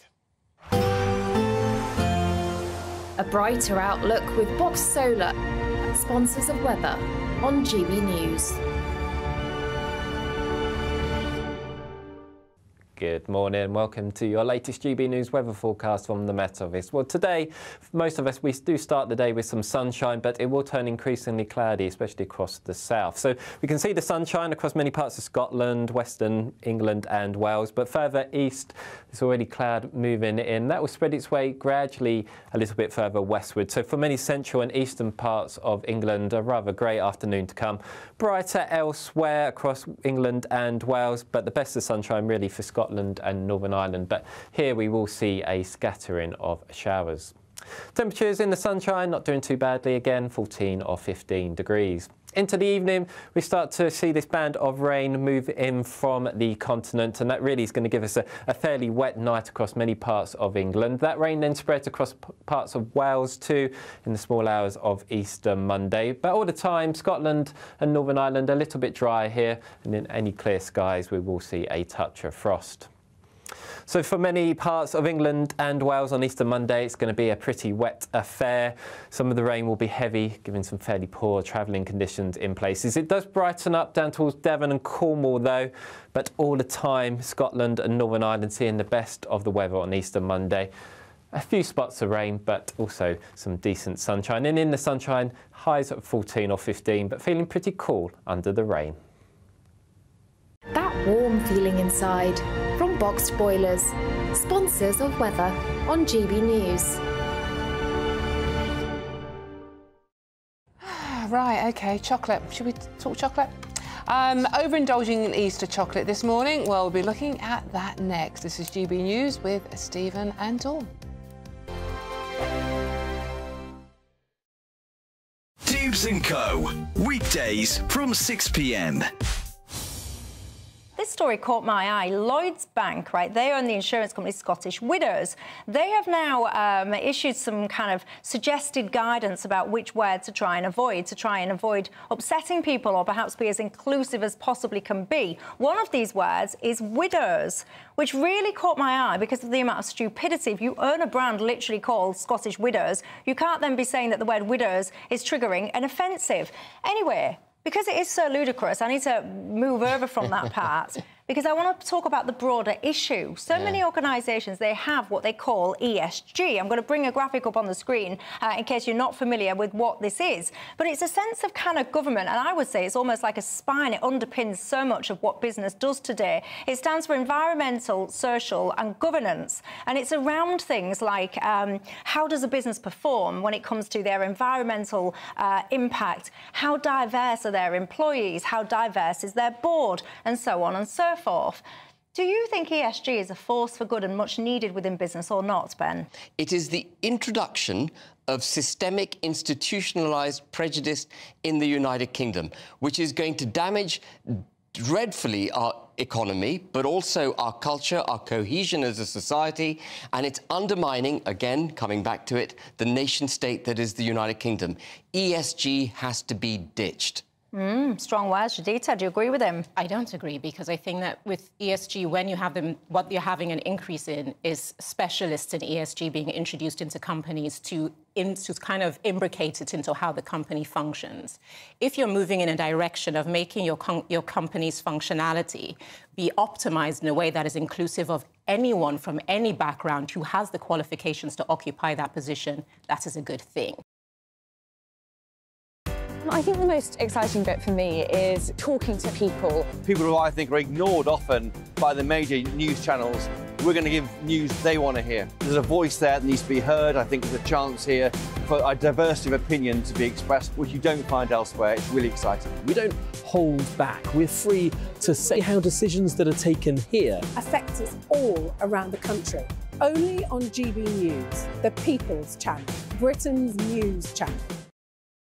Join me, Camilla Tominey, every Sunday at 9.30 when I'll be interviewing the key players in British politics and taking them to task. This report basically says that he's not fit to stand trial. With an upcoming election looming over Westminster, now is the time for clear, honest answers. I agree. And that's precisely what I'll get. Is he indecisive? Incompetent? That's the Camilla Tominey Show at 9.30 every Sunday on GB News, the People's Channel, Britain's election channel.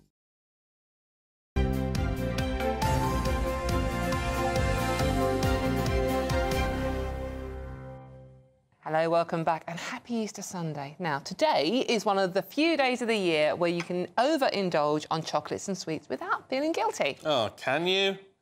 Oh, well, well many of us, of course, waking up to chocolate eggs for breakfast, perhaps. So uh, we might be thinking whether or not it's OK to do so.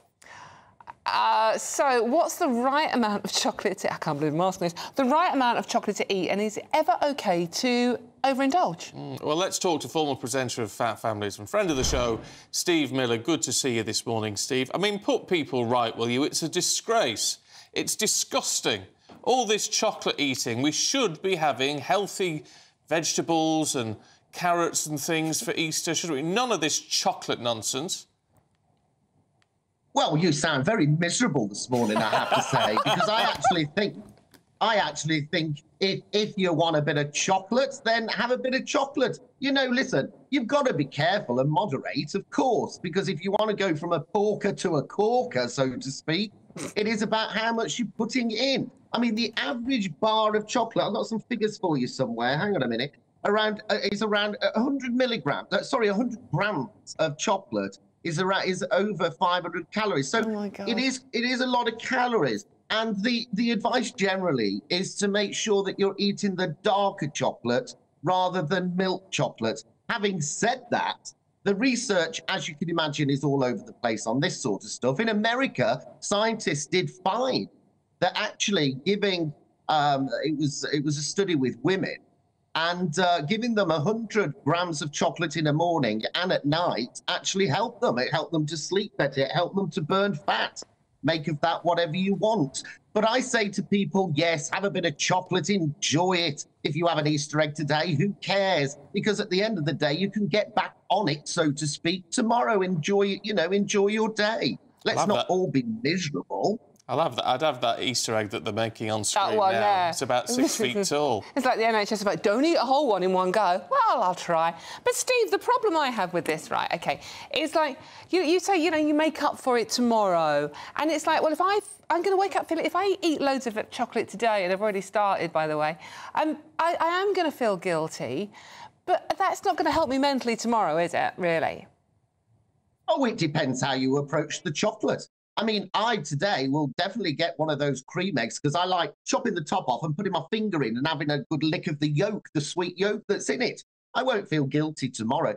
What I say to people is, you know, in your mind today, tell yourself that you're going to enjoy it. You're okay to enjoy it, but you'll be very focused over the next few days. I've always advocated 80 20. 80% eat healthy, 20% a bit of what you fancy. And if you want a bit of egg, have a bit of egg. Chocolate egg, that is today. Absolutely. It's a bit of, but I find, I mean, the the, men, the mental side of it is quite interesting. I find it a slippery slope. If I get on a diet and and I'm start to to lose uh, a few pounds, I feel great. I can keep on it. I can focus. The minute I slip. Mm. And I'm uh, I'm definitely slipped at the moment, Steve. Um, then it all just it all just goes out the window, and I can't. You know, if there's a bit of chocolate, I have it. Oh, well, you're absolutely right to raise the mental side of it. It is mindset and motivation. And in this country, we talk about food too much when it comes to weight loss. You know, so so what can we do? Well, today, if you've got lots of Easter eggs in, for example, put a warning sign in front of them. Uh, you know, or it could be a pleasant sign, such as "I am too gorgeous to be fat." That'll just make you stop, look, and listen before you you perhaps grab an egg when you shouldn't. And and you know, also, I and this is going to sound like I need sectioning, but I get people to actually talk to the food as well because it's food controls us. There is method in my madness.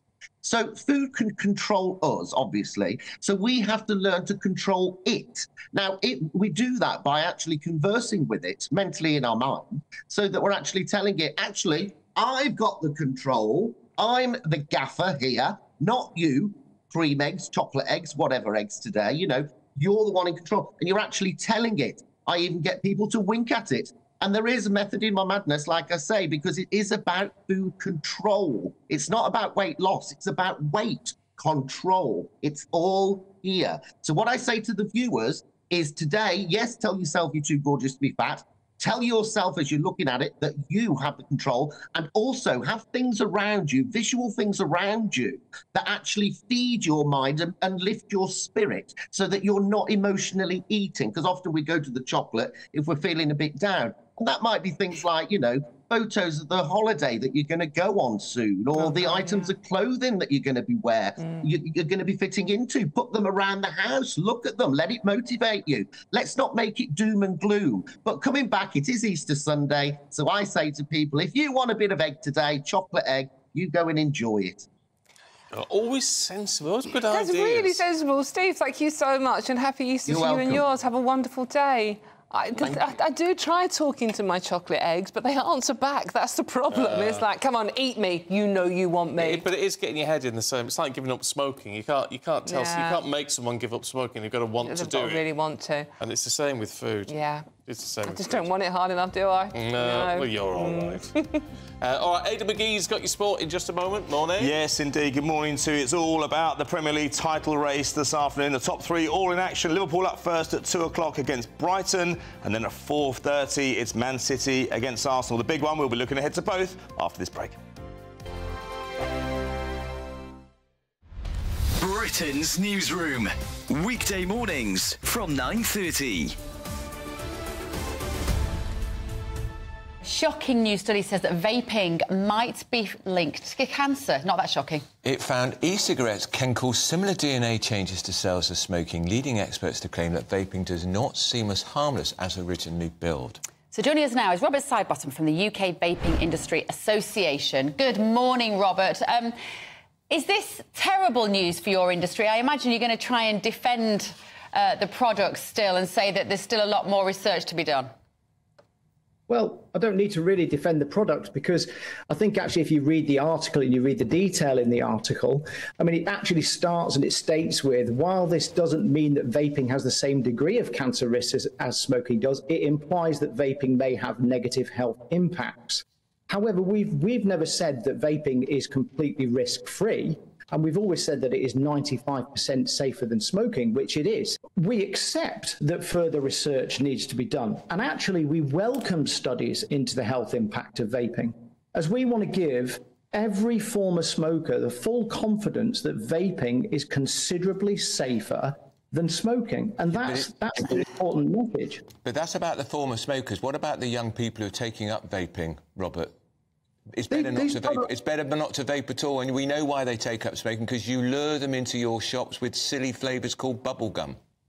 Well, we can get into the flavour debate. That's no problem at all because you know adults like flavours. I, you know, particularly I love squashy sweets.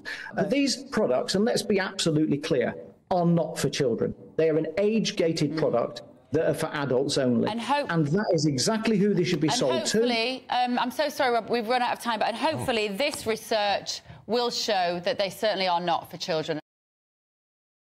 I'm Andrew Doyle. Join me at 7 o'clock every Sunday night for Free Speech Nation, the show where I tackle the week's biggest stories in politics and current affairs with the help of my two comedian panelists and a variety of special guests. Free Speech Nation, Sunday nights from 7 on GB News, the People's Channel, Britain's news channel.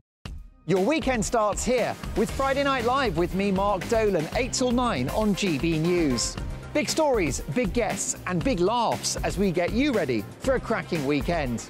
That's Friday Night Live with Mark Dolan, Fridays 8 till 9 on GB News. Bring your own drinks, the admission's free.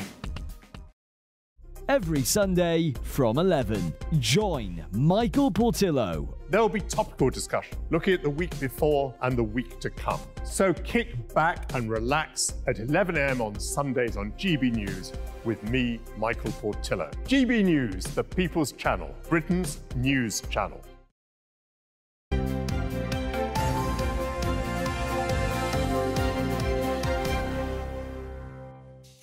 8.37. Should we have a chat with Aidan? Morning. Good morning again. What do you want to kick off with? Kick off. Look, let's touch on Man United because I think it's best that we get them out of the way. They'll be pleased about that as well because it was a disappointing result for them.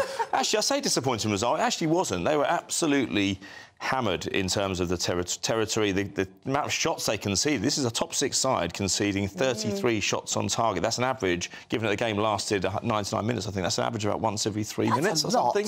It is. So they got away with it, conceding one goal. The Brentford manager, manager Thomas Frank was saying, I almost lost faith in the football god because he was saying, well, you know, how can we dominate this game so much? We can pepper their goal with shots and yet still we can end up losing this game. Nonetheless, though, Stephen, Man United took the lead six minutes into added time. If you're a top club with ambitions about winning, winning trophies and the mentality and the culture is right, you see that out. Yeah, yeah, yeah. Six minutes into added time, and you still concede a goal. I mean, that happens so rarely in football.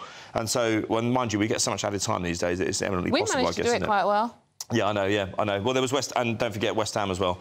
We should we touched on those earlier on, didn't we? Mm. But, Oh, yeah. three one up, three three one up with 14 minutes to go. Kalvin Phillips comes on, and the whole team wrecked the thing. Yeah. But looking ahead today, Talk about pulling defeat from the jaws of victory. We do Joe. that. We, we're quite good. It's, it's our skill. It's unique. but uh, looking ahead this afternoon, it's huge. The top three all in action. Liverpool fresh out the blocks at two o'clock against Brighton. If they win that, then they go top. They're, they, they're currently second, and that, that gives Man City and Arsenal a bit to do this afternoon. If Liverpool were to lose, and this is an interesting scenario, I was chatting to someone backstage about this, and I was saying, if Liverpool lose, then the winner of Arsenal v Man- v versus Manchester City has a real incentive there because they can effectively win two matches because Liverpool will be knocked back a little bit from their defeat if they lose and they beat Manchester City. Don't forget it's a three-way contest and the incentive there is huge. And I think that we're going to see both teams attack each other like never before at 4:30. You're talking about the treble winners here. You're talking about the leaders in the Premier League with who've, who've won the last eight matches, scoring goals aplenty. This is why this match and these matches between these top three sides in the Premier League are up there with the Super Bowl in terms of international interest, global interest. But does that mean then, because you say if Liverpool lose, it's almost like a double win for, for Whoever wins So, so, is that, so does that makes it a must-win for Liverpool? Does it? Oh, without doubt. Well, you, you have to. You, in a title race like this, when nobody slips up anymore. I mean, we had a title race. I Mm. think it was in 2019 when uh, Liverpool and, and Man City went at the last Yeah. nine, ten games, and neither of them gave gave an inch. And it was only because City were ahead a, um, a, uh, a point earlier in, in the season that got them over the line later on. So you can't you, you can't lose more than two, three games now in a season. I mean, I remember United and Arsenal used to win the title on 80 points. Now Mm. you need close to 100. And you might not even win it. Liverpool won it on 99 points, I think Yeah, no, a few years ago. It's astonishing. That's the level these clubs are setting, and that's why Mikel Arteta said before this game that Manchester City have set a level of football that has never been seen before. And you know what? Given the point situation, I think the, the facts probably back him up. But it is quite exciting at the moment, though. Oh, I without mean, doubt. It, it's, Yeah. yeah. rather than just, oh, it's going to be them again. I mean, yeah, I mean, we, we've, we've known there have been a few times in the last four or five years where we've known who who's going to win the title in probably February. And then we see, then we Yeah. to see it, to see a title race. It makes it more interesting for us to talk about. Yeah. Even if you only have a passing interest in football, you're more likely to, to drop into it if there's an actual competition going on, rather than just a processional race to the finish. Hmm. Yeah. A run to the finish, not even a race. Well, yeah. But it's going to be exciting. 4:30 at the Etihad, And as I say, a global TV audience well into the probably over 100 million, I would have thought. So we know what your afternoon consists of. Yeah, I'm going to have a sleep first, though. Sleep first, and then a full afternoon of football. Without doubt, a feast of football. And I, a feast, I just want to say thank you very much for our Easter eggs. Yes, Oh, don't worry eggs at all. in. Yeah. So we're going to have to, as Steve Miller would say, have a good talk to them. mine's, mine's definitely not listening. and then we'll leave them. Yeah, more sense out of them than me, I'm sure. Yeah. Uh, Aidan, thanks very Good to see you. Happy Easter to you both. Uh, right, we've got uh, the stories from the newspapers this Easter Sunday heading away in just a moment with Emma Woolf and Tom Slater.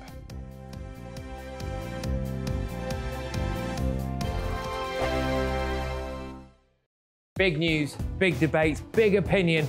Patrick Christys Tonight is the week's biggest show. Every weekday, 9 to 11 pm, we've got the inside track on the day's top stories. There'll be sharp takes you won't get anywhere else. We will set the news agenda, not just follow it, and I want to bring you along for the ride. Whatever it is, we'll have our finger on the pulse.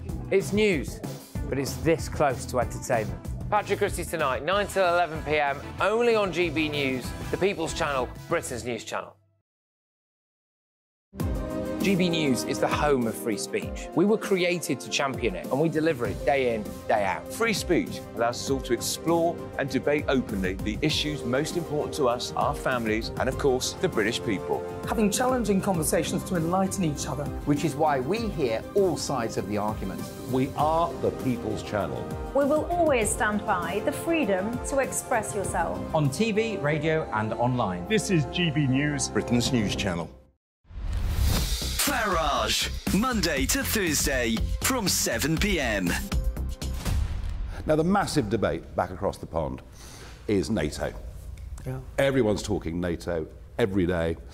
Uh, it was your comments about them not paying enough, not They paying two percent, and you said pay. this. You said it again recently. You made a comment. Well, the Russians can do whatever they want if these guys don't pay. Well, That's now being that's- used. Well, they can use it. I don't really care if they use it Okay. because what I'm saying is that's a form of negotiation. Uh, why should we guard these these countries that have a lot of money?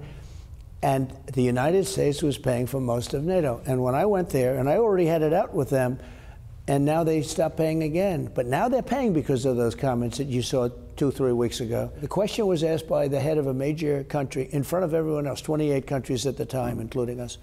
They said, So if we don't pay our bills, are you going to protect us from Russia? I said, You mean you're delinquent? You're not paying the bills? Yes. Nope, I'm not going to pay you. We're not going to do it. We're not going to defend you. If you're not paying your bills, we're not going to defend you. It's very simple. And hundreds of billions of dollars came flowing in. Now, if I say, yes, I am, they're not going to pay their bills. Why would they do that? NATO has to treat the U.S. fairly because if it's not for the United States, NATO literally doesn't even exist. But they took advantage of us, like most countries do. If they start to pay their bills properly and the club is fair, are places like Poland defended? Will America be there? I believe the United States was paying 90% of NATO, the cost of NATO. Could be 100%. Yep. It was the most unfair thing. And don't forget, it's more important to them than it is to us. We have an ocean in between some problems. It's more important for them. They were taking advantage, and they did. They took advantage of us Okay. on trade, and they took advantage on. So if the they play fair, if they start to play fair, America's there. Yes, 100%. 100%. Thank you.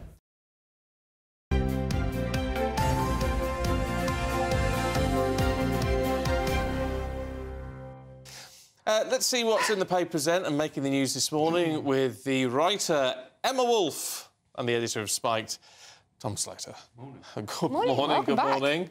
Um, ooh, where's my list? Here we go. I've got a little list somewhere. You ha- you've got a list. I'm, I'm going to question Oh no, I've got no, I've got, I've got both. haven't I? On the front of the I've Express. been, I've been hogging them. Emma, Oh. let's have a look at the front of the Sunday Express, should we? Yeah. Um, an Alzheimer's prevention jab. Yeah, well, I mean... Sounds too good to be true. It does, it does, and it's very, very exciting. It could potentially be a real breakthrough for a lot of people in this country. 900,000 people in the UK are, aff- are afflicted by dementia. I, I, sh- I should think it's more than that. You know, we Yeah. know a lot of old people Yeah. who, are, who are losing their memory and don't want to call it dementia. But anyway, and it could be up to 1.6 million people by 2040. You know, and we're all living longer, and it, this is a degenerative degenerative brain disease. So there's this new drug, uh, game-changing vaccine, it's been called. Um, and what it does is it removes those toxic proteins from the brain, these amyloids that clump together, and that's what causes dementia. Mm. They're naturally occurring proteins, but they're not helpful in old age, um, and they cause the damage. So this is, again, it's one of those drugs that should be widely available in five years' time. It always seems to be five or It's ten always years five away, years. doesn't it, with a cure for cancer or whatever. So there's still some some more human trials to. There are, yeah, it's undergoing trials at the moment. There's a policeman who's been talking, um, a former senior police officer who developed Alzheimer's and is taking part in these trials. He says it's changed his life already. Oh right, so it's so it will actually work for people who've already developed some stages Yeah, of it. yeah. So he's undergoing the trials at the moment. He's part of this two-phase trial, and he says it's transformed his life after three jabs, which is very, Wow, very that's exciting. amazing. For people that have already started that Yeah. process, you know, because Yeah. you think, well, will it be too late or whatever? But And considering it is increasing and people are developing it younger and mm. younger as younger well. and younger it's and, and living longer. So living longer with something like that for 20 yeah. years rather Yeah. than sort of, you know, getting to retirement age and then having a few years left of life. Yeah. Yeah. But let's see, and also the cost and the availability. These are all questions that the NHS is going to have to. Well, it's more at. it's more pressure on the NHS, but Mhm. these is this is where you need to prioritise. I know it sounds controversial. I'd prioritise this over No, something you like have to. IVF. I think you have to. I think you really have to. I mean, no. you know, we had a loved one in the hospital recently, and everyone else on the ward was suffering from dementia. Many of them very elderly, very Mm. lonely, no visitors. Absolutely heartbreaking to witness. It really was. It's just Yeah. the most horrific way to lose someone you love. Well, fingers crossed for that one. Yeah, uh, Tom. Too much information. Yes. So I haven't told you anything yet. no, in the breaks. Oh, There's a lot of TMI going on on this panel. No, so this is a, a poll that's been conducted into TMI, too much information, and basically people's people have had enough of it. So about a fifth of Brits say they are often on the receiving end of confessions they would prefer not to have heard. Oh, really? Um, and apparently, Norfolk, the worst offenders. Oh, wow. But that kind of makes sense when I, you. uh, How random, Norfolk. I can understand. Overshare in Norfolk. There's an interesting generational difference. What happened to you in Norfolk? you know, that, that probably would uh, wouldn't do to mention that. But no, it seems like there's a generational difference as well. So the younger generation, this I found interesting, like Generation Z, are more most bothered by it than older generations. But maybe that's because they're subjected to more of it in this kind of tell-all age that we we find ourselves in. I think it's because the younger generation, reality isn't what you share. You, sh- you share a fabricated reality, Mm. don't you? Mm. On, with filters and Instagram and fake backgrounds. It's a weird world, though, because like social media and WhatsApp and things like that, there, often there are people that you barely know and that you have oh, actually Oh, gosh, messaged yeah. endlessly. I mean, there are people that I don't think I've actually met in real life who are cl- some of my closest friends, and you tell each other everything. So it's a kind of, it's a weird. Are, are we talking separate, about? But we're very, very close. Are we talking about social media here, or is it just sort of sitting talking face to face? or- No one- It no seems one like meets and mix. talks. it seems like it face seems like a mix of things. But I, I think you're right, Steve, as far as that sort of gap, because the kind of caricature is that the sort of older Facebook users say will just kind of spill all and constantly put up photos and talk about themselves, whatever. The young generation is much more curated. It's much more about Yeah. just one, Yeah. often quite heavily doctored image, which they kind of will put out and broadcast Yeah. to the world. So you Not can definitely see that difference. Yeah. Mm. Oh, I don't. I don't. Well, I don't overshare on social media um, because I've there's just so much. You, you put anything on, you think you can put something on that you think is nice, and you get mm. criticism. It's um. And people are so quick to criticise on there. They say things on there that would never say to your face. Social media can be really dangerous as well. The other day I was doing a TV thing and someone said they were going on holiday. And when we all just suddenly thought, oh my God, burglaries. Yeah. You know, you, yeah. got- you have to think about what Yes, you're actually oh, yeah, saying in the yeah. public domain. Yeah. You know, it's sort of funny. Yeah. No, Yeah. oh, no. Um, now, um, Sunday Mirror has um, I'm a celeb winner, Giovanna something or other, who's friends She's with... called Giovanna Fletcher. She Oh, is. She does this podcast about motherhood and babies and things like that. And she won I'm a Celeb in 2022.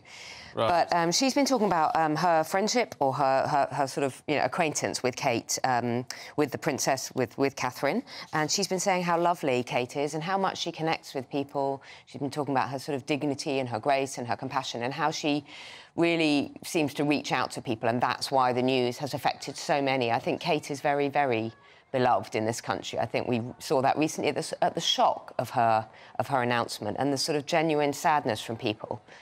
Um, so this, yeah, this woman has Mm. been saying how she, she, you know, she remembers people, she remembers to ask after their children, and really cares about, So, about others.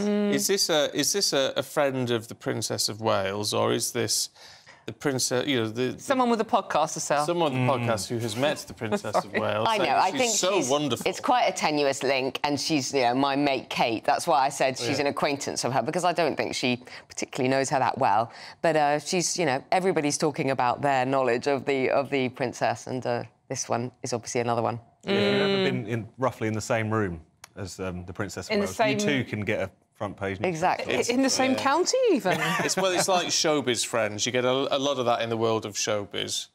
Um, I went to I went to a party once, I was, um, and there was it was full of everybody was there. Someone's birthday party, and everybody was there. And it's like, well, hey, I, I know the party boy hates you, and he doesn't know you. It was all that sort of thing. Yeah. But He it looked good for the, it looked good for the photographers. Well, I met Keir Starmer last week, and he's now my best mate. And he's not at all. He wouldn't know me from Adam. No. But from that five-minute meeting, he's my best friend, and I refer to him, you know, on a daily basis.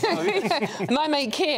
yeah, my well, mate why Keir. not? Next if Prime Minister, if he you know. Prime Minister, We then- go way back. Yeah, yeah. Oh, I'm fascinated by this story, Tom. Um, the uh, Telegraph, page six story. Yes. So this Is this more wokeness going on? It seems like it. So there's Oriel College, Oxford, um, which has had a fair few of these kind of scandals in, in recent years. So it has a portrait of this 18th century Duke, the fifth Duke of Beaufort, who um, usually hangs in the library there. But because of the fact that in the background there's a image of a black boy, seemingly as like a servant or holding his coronet, that um, according to one source at the college, it's been removed um, because of offence or because of the potential for offence. Um, the college has otherwise claimed that actually this is because they're undergoing works or whatever, but he's this particular source is disputing that.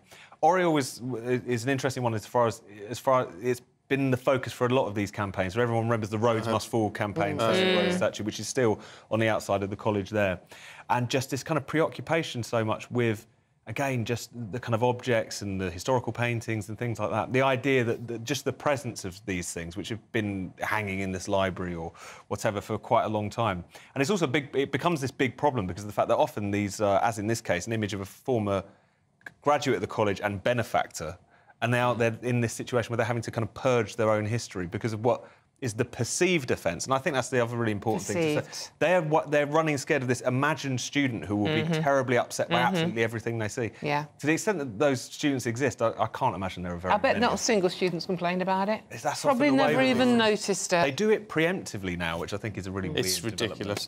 Um, we're, we're down to um, about a minute. Well, I'm nervously holding my chocolate egg on my my my, my It's probably melted. Terry's orange on my lap because I suddenly realised you're the Terry's chocolate orange obsessive. That, well, And, and am. this has just been given to me by Aidan Magee, sports journalist extraordinaire. And Yeah. now I, I can't leave it in the studio anywhere because Is- you is- all partly go Abuelita for it. is given. We, we've all Oh, got. have you got better ones? He's brought Easter eggs in for everyone. Other, Oh, choc- this other it. chocolate eggs are available. Yes, they by are. the way. Can we just very, very, very quickly then look at this advert for an Exorcist? Yes. On the Daily Star Sunday. Speaking of because apparently, Exorcist. Oh. yeah, there. Can't be that, can you? It's up 60%. So um, Exorcist and Ghostbusters, in particular, apparently um, in in big demand.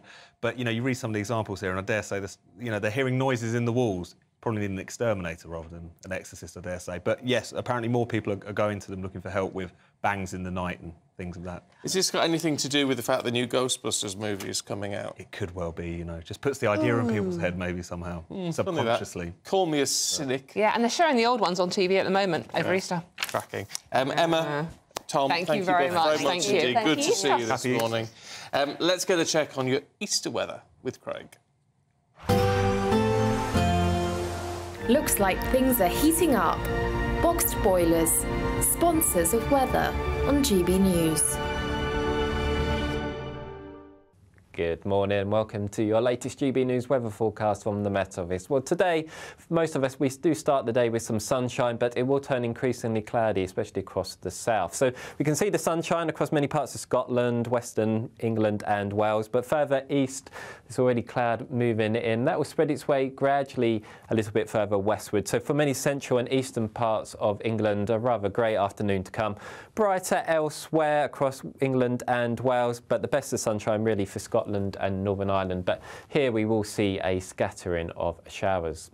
Temperatures in the sunshine not doing too badly again, 14 or 15 degrees. Into the evening, we start to see this band of rain move in from the continent, and that really is going to give us a, a fairly wet night across many parts of England. That rain then spreads across parts of Wales too in the small hours of Easter Monday. But all the time, Scotland and Northern Ireland are a little bit dry here, and in any clear skies, we will see a touch of frost. So for many parts of England and Wales on Easter Monday, it's going to be a pretty wet affair.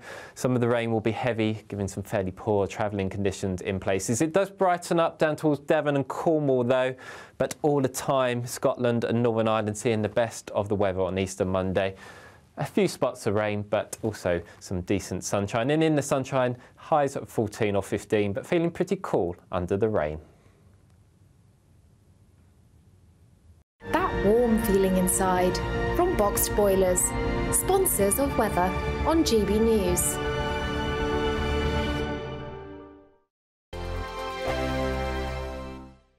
Patrick Christys Tonight.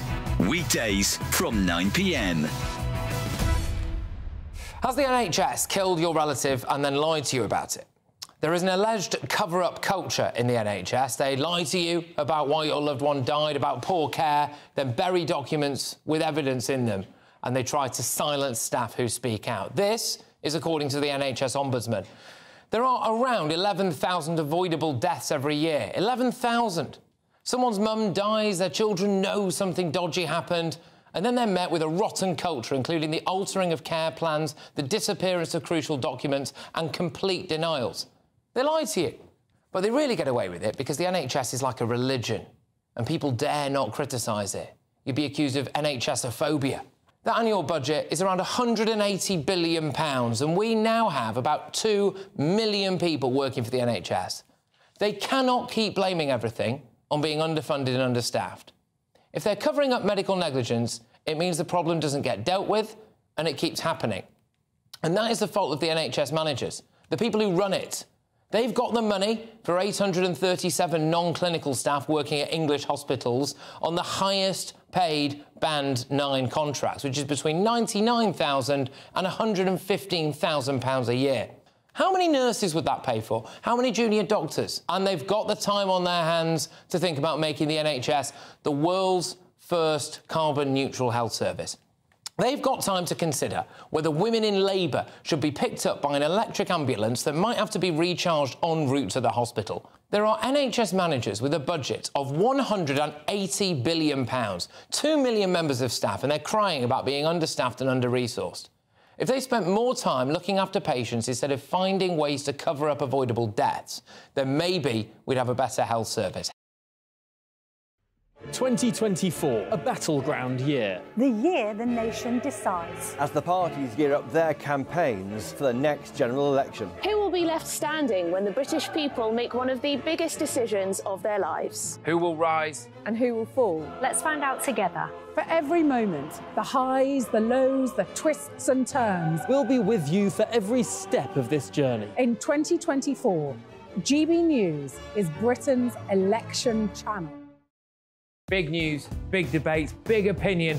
Patrick Christys Tonight is the week's biggest show. Every weekday, 9 to 11 pm, we've got the inside track on the day's top stories. There'll be sharp takes you won't get anywhere else. We will set the news agenda, not just follow it, and I want to bring you along for the ride.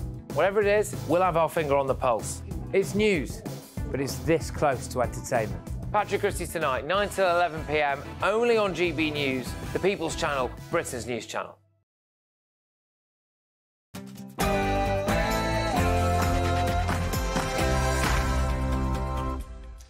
Very good morning to you. Nine o'clock on Sunday, the 31st of March. Today, happy Easter Sunday. Leaders and religious figures celebrate across the world, and the King is set to join the rest of the royal family in Windsor. Back service for the King, the most significant public appearance of His Majesty since his cancer diagnosis. So, is this a sign things are heading in the right direction? Find out shortly. And as you wake up to presents from the Easter Bunny this morning, what's the best way to make sure you can eat your chocolate guilt-free? A new mega poll has revealed a dire tale for the Conservative Party as they reach a record low. Even the Prime Minister could potentially lose his seat. Good morning. The clocks have sprung forward overnight, but for some of us, especially during Easter Monday, the weather is certainly not looking very spring like at all. Find out all the information with me in a little bit. Morning to you. I'm Stephen Dixon. And I'm Dawn Neesom. This is Breakfast on GB News, wishing you a very, very happy Easter Sunday.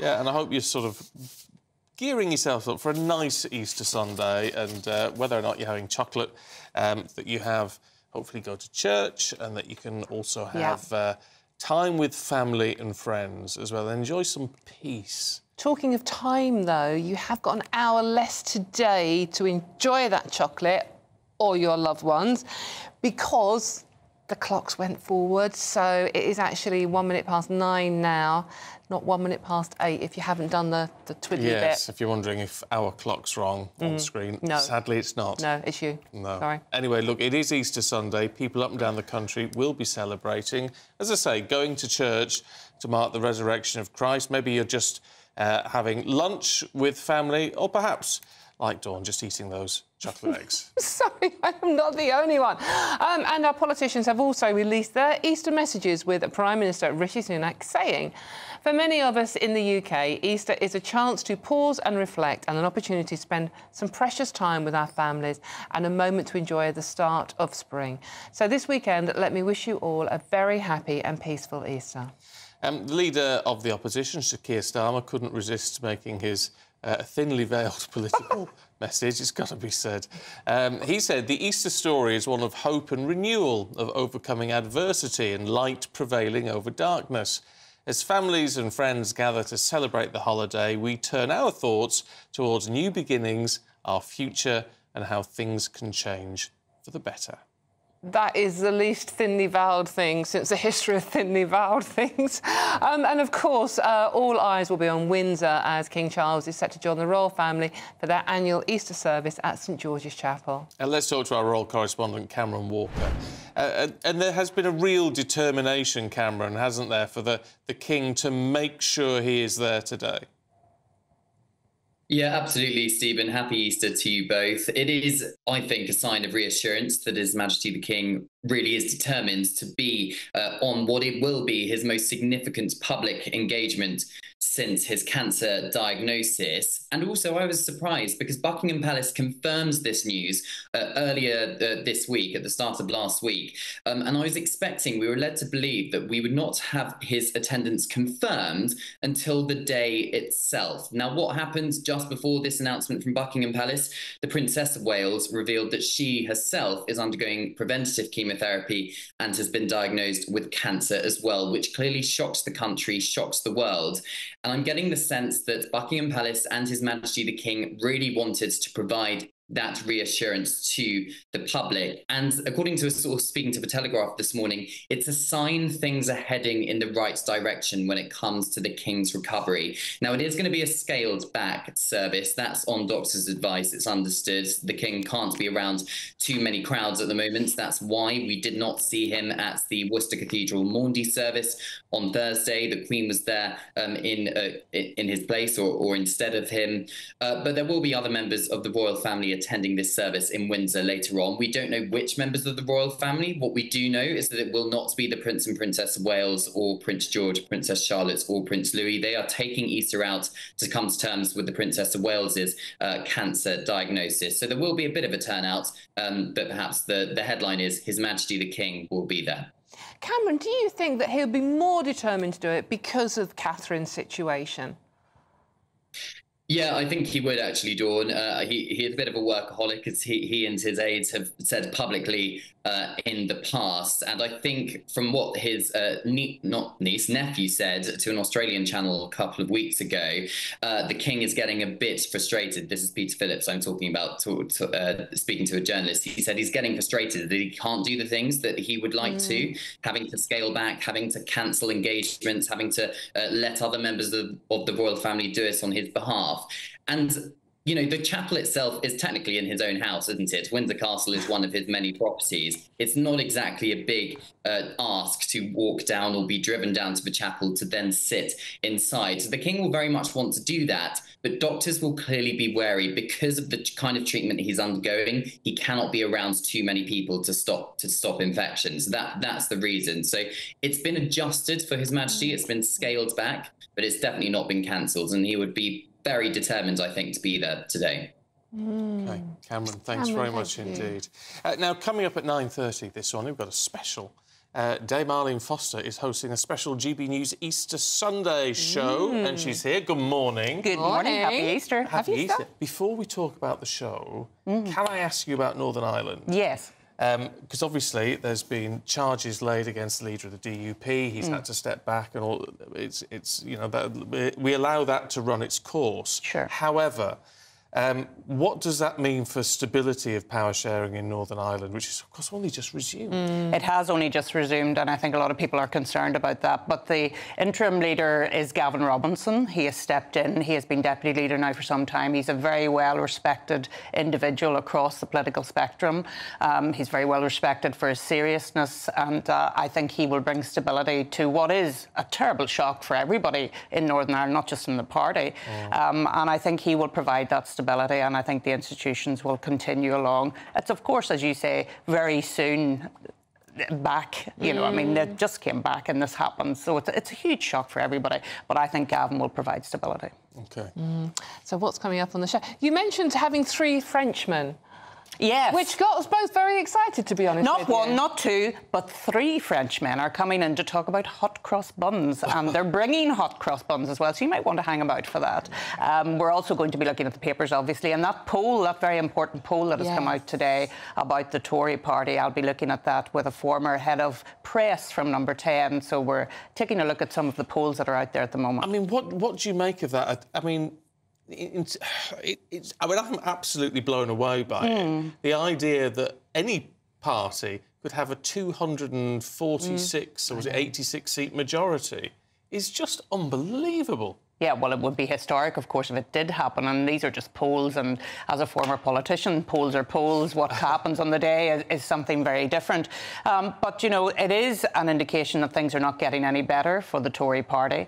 Um, and we've heard some voices within the Tory party saying, look, we need to do something here. If we keep doing what we're doing, then we are going to end up with a historic low. Uh, people like David Frost, obviously, Robert Jenrick are saying, look, we need to change course here. So it'll be interesting to see what happens post Easter. Politi- politically, what do you think the thinking is? Because I was saying earlier on, I don't understand the political thinking in a way because the, the, the public are getting frustrated Mm, now. yeah. My, my, if I was talking to the to the prime minister, I'd say just call it, just get on with it now. We need to know what's going on.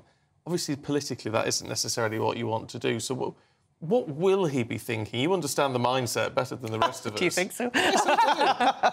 no, well, I think we're all, when we had the budget, I think some of us were expecting a bit more. And so I think there's going to be another fiscal event. This is what they're planning, probably for early September, October time. If that's to happen, then they're hoping that that will give them a bit of a, a lift at the time. So I don't think you will see a poll until the autumn time. Right. Okay. Sorry about Um, that. No, no, no, no, no. I just want. I just want to crack on. Can I ask about um, obviously Easter Sunday? Yes. With the importance of it. I mean, particularly. Uh, in Northern Ireland, where it's obviously, in, in a sense, I would I would imagine Northern Ireland is still sort of more Christian in a way in terms of how people view themselves than than perhaps the mainland. But how important is it to you as an individual to mark this this important weekend, but today to, to look at the resurrection of Christ mm, and, mm. and, and the idea that our you know our, our sins are are taken away from us. We have a chance to repent. Well, as a Christian, Easter is the high point, if you like. Easter Sunday is the high point of the year because it is when we celebrate the resurrection, that key central part of your faith. Uh, and I'll be speaking to Dr. Gavin Ashenden, who's going to explain why Easter's so important to so many of us and, and to take a look back over all of that. Of course, he was the former chaplain to the late Queen. We all know how important Easter and Christianity was to the late Queen. And I think it's wonderful that the King is going to make an appearance today at Easter because Easter's about hope. It's about renewal, uh, and I think the fact that he's going to church today is a really strong statement. Yeah, Yeah, No, it is. it is. Arlene, Lovely. brilliant. Uh, look forward to seeing it half uh, half nine and Yeah. enjoy the hot cross buns. Yes. And the Frenchman. I knew you were going to say that. it's disgraceful. okay, uh, let's just take you to uh, the Vatican, actually. Tree. Um, because uh, Yet a three mass days is, afterwards- Easter Mass is underway uh, with Pope Francis. Now, of course, he's not been he's not been in the best of No, health. he's not been well himself. Um, but he has been, and we know he's, he he missed a couple of events over the weekend.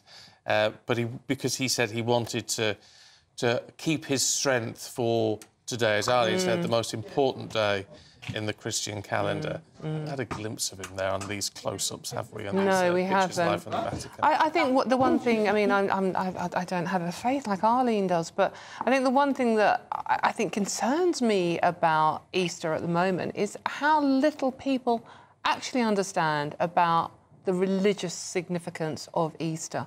We know more about the Easter bunny and chocolate than we do about, you know, what happened and why we celebrate Easter. But that's that's the commercialisation, isn't it? It's, the- it's the same with it's the same with Christmas and, Mm, and all, all, all mm, the big events mm. actually. But but it's it's things like this Mm. which uh, which should bring it home to us. Yeah. As uh, in this obviously case, the Catholic Church, Yeah. but of course uh, Protestants and Anglicans around the world celebrating too uh, the the resurrection of Jesus after three days in the tomb, and what that signifies for our future and the uh, the sting of death, as they say, you know, being removed. that you really hope that the message coming from this Easter globally is of regeneration, rebirth, and hope.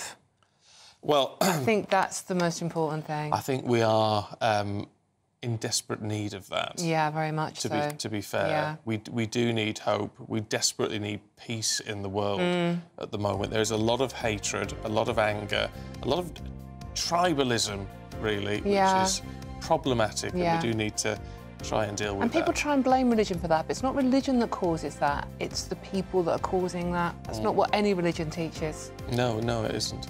Um, okay, we're going to take a short break. Back in just a moment. I'm Christopher Hope. And I'm Gloria De Piero, bringing you PMQ's live here on GB News. Whenever Parliament is in session on a Wednesday at midday, we'll bring you live coverage of Prime Minister's questions. We'll be asking our viewers and listeners to submit the questions that they would like to put to the Prime Minister, and we'll put that to our panel of top politicians in our Westminster studio. That's PMQ's live here on GB News, Britain's election channel. I think the most exciting bit for me is talking to people. People who I think are ignored often by the major news channels. We're going to give news they want to hear. There's a voice there that needs to be heard. I think there's a chance here for a diversity of opinion to be expressed, which you don't find elsewhere. It's really exciting. We don't hold back. We're free to say how decisions that are taken here affect us all around the country. Only on GB News, the People's Channel, Britain's news channel. This is GB News, Britain's news channel.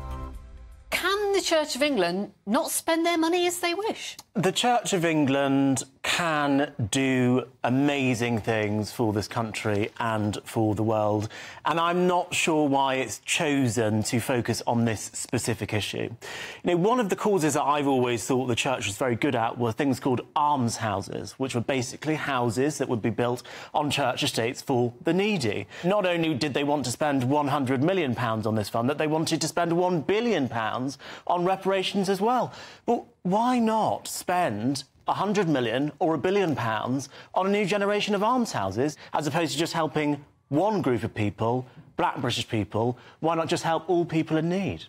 Alex. Well, I, I just don't understand what the Church of England is trying to do. It's on its deathbed. Congregations have, have reduced. Reduced- I mean, deathbed is maybe a I mean, well, well, look, if we look over 20 years, it's dramatically lower than it used to be. And, and, and a lot of criticism from actual Christians come from the, the values that the Church of England are now propagating. And Justin Welby has a lot to answer for because, you know, not only are we seeing in the news this mass conversion of illegal immigrants to a gay mass system in the UK, but now we're seeing them spending money. And, and as Albie actually pointed out correctly, in, in, in, a, in a way that doesn't really benefit broader society, it benefits a very small group of people. So I, I just don't know where it's going to end. This committee has also said one million's not enough. 100, it's 100 million, sorry. Um, it's, the, church commissioners are now hoping to for a target of 1 billion. I mean, I mean it's, it's, it's, woke nonsense, isn't it? You could make the argument that this is charity. Justin Welby's job is to be a virtue, should, virtue signaller, well, is it not? charity discriminate? I mean, that's what he's saying. We're only going to give this to people from a specific skin colour or background. I don't think that's very Christian of them. GB News is the home of free speech. We were created to champion it, and we deliver it day in, day out. Free speech allows us all to explore and debate openly the issues most important to us, our families, and of course, the British people. Having challenging conversations to enlighten each other. Which is why we hear all sides of the argument. We are the People's Channel. We will always stand by the freedom to express yourself. On TV, radio, and online. This is GB News, Britain's news channel.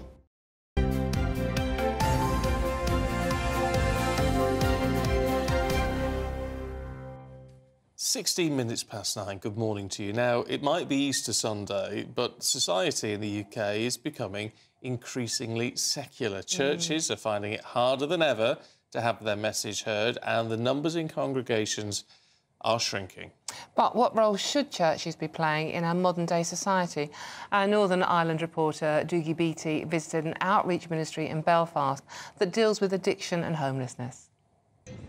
We go out and, and reach people in society who are broken, uh, many of them living on the streets.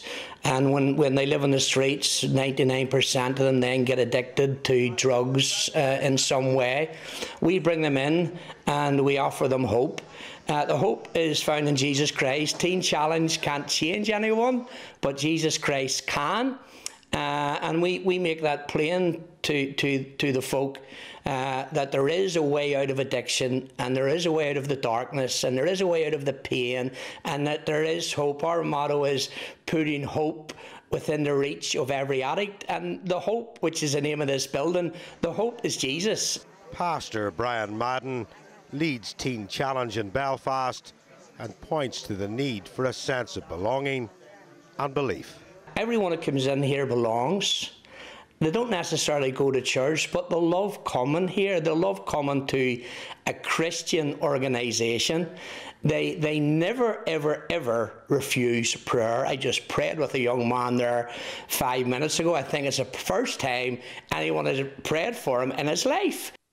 When churches such as this one were first built, they were so much more than a place to worship. They projected power and social standing. They were a communication hub for the community. But do they still have the same relevance today? Buildings are, for their very nature, they're buildings that at one time could have fulfilled a, a very important function, and maybe they don't now. So if you think back to the earlier centuries, walking into a, a church building could have been a warm and comfortable space, a place where there was a sense of community, where they didn't have other grand buildings. Imagine walking into a cathedral and the high ceilings, the stained glass windows, the grandeur of it all just spoke of the majesty of God. Many churches are funding the Hope Project, and evangelist Keith Mitchell says churches may change, but their message must remain. So our core principles shouldn't change, and our method should always be one in terms of what is the culture saying around us, and how do we engage in that culture in a way that we are we're living out love and grace, but also we're embracing truth. We're not compromising on truth, and I think the church has a radical message of hope to still bring to the world today, and we do that in lots of different ways. So you might be looking at an old building now and say, you know, how is this relevant? But it's from the cafe at the side, and when people come in here on on a Thursday night to worship, they, see something contemporary, they see something new, they see something fresh. And in the world today, people need hope, and the church champions hope more than any other religious organisation in the world. Dougie Beattie, GB News, Belfast. Now, here's something to warm the cockles of your heart. Keepers at a zoo in Leicestershire have welcomed the birth of a Francois langur, an endangered species of primate. The primate is native to China and North Vietnam, is listed as endangered according to the International Union of for Cons Conservation of Nature Red List, which names the world's most endangered species. Uh, well, let's talk to Director of uh, Conservation at Twycross Zoo, Dr Rebecca Little, who joins us now. Really good to see you this morning. How important is it that this new little life has been born here in the UK? Good morning. Yeah, it's it's super important that we've had this new Francois Langur born here at Twycross Zoo. We're very excited about it. It joins a group of these primates that we have. So we have eight in the, in the zoo now. But as you said, these animals are endangered in the wild. Um, scientists think there's less than 2,000 of them left. So everything that we can do to try and support them be that breeding them in zoos and ex situ conservation and also supporting in situ conservation. All that is extremely important for this species. Rebecca, why are they so endangered? So they have quite a specific habitat. So they, they live in tropical forests, um, so limestone cliffs and caves in those tropical forests.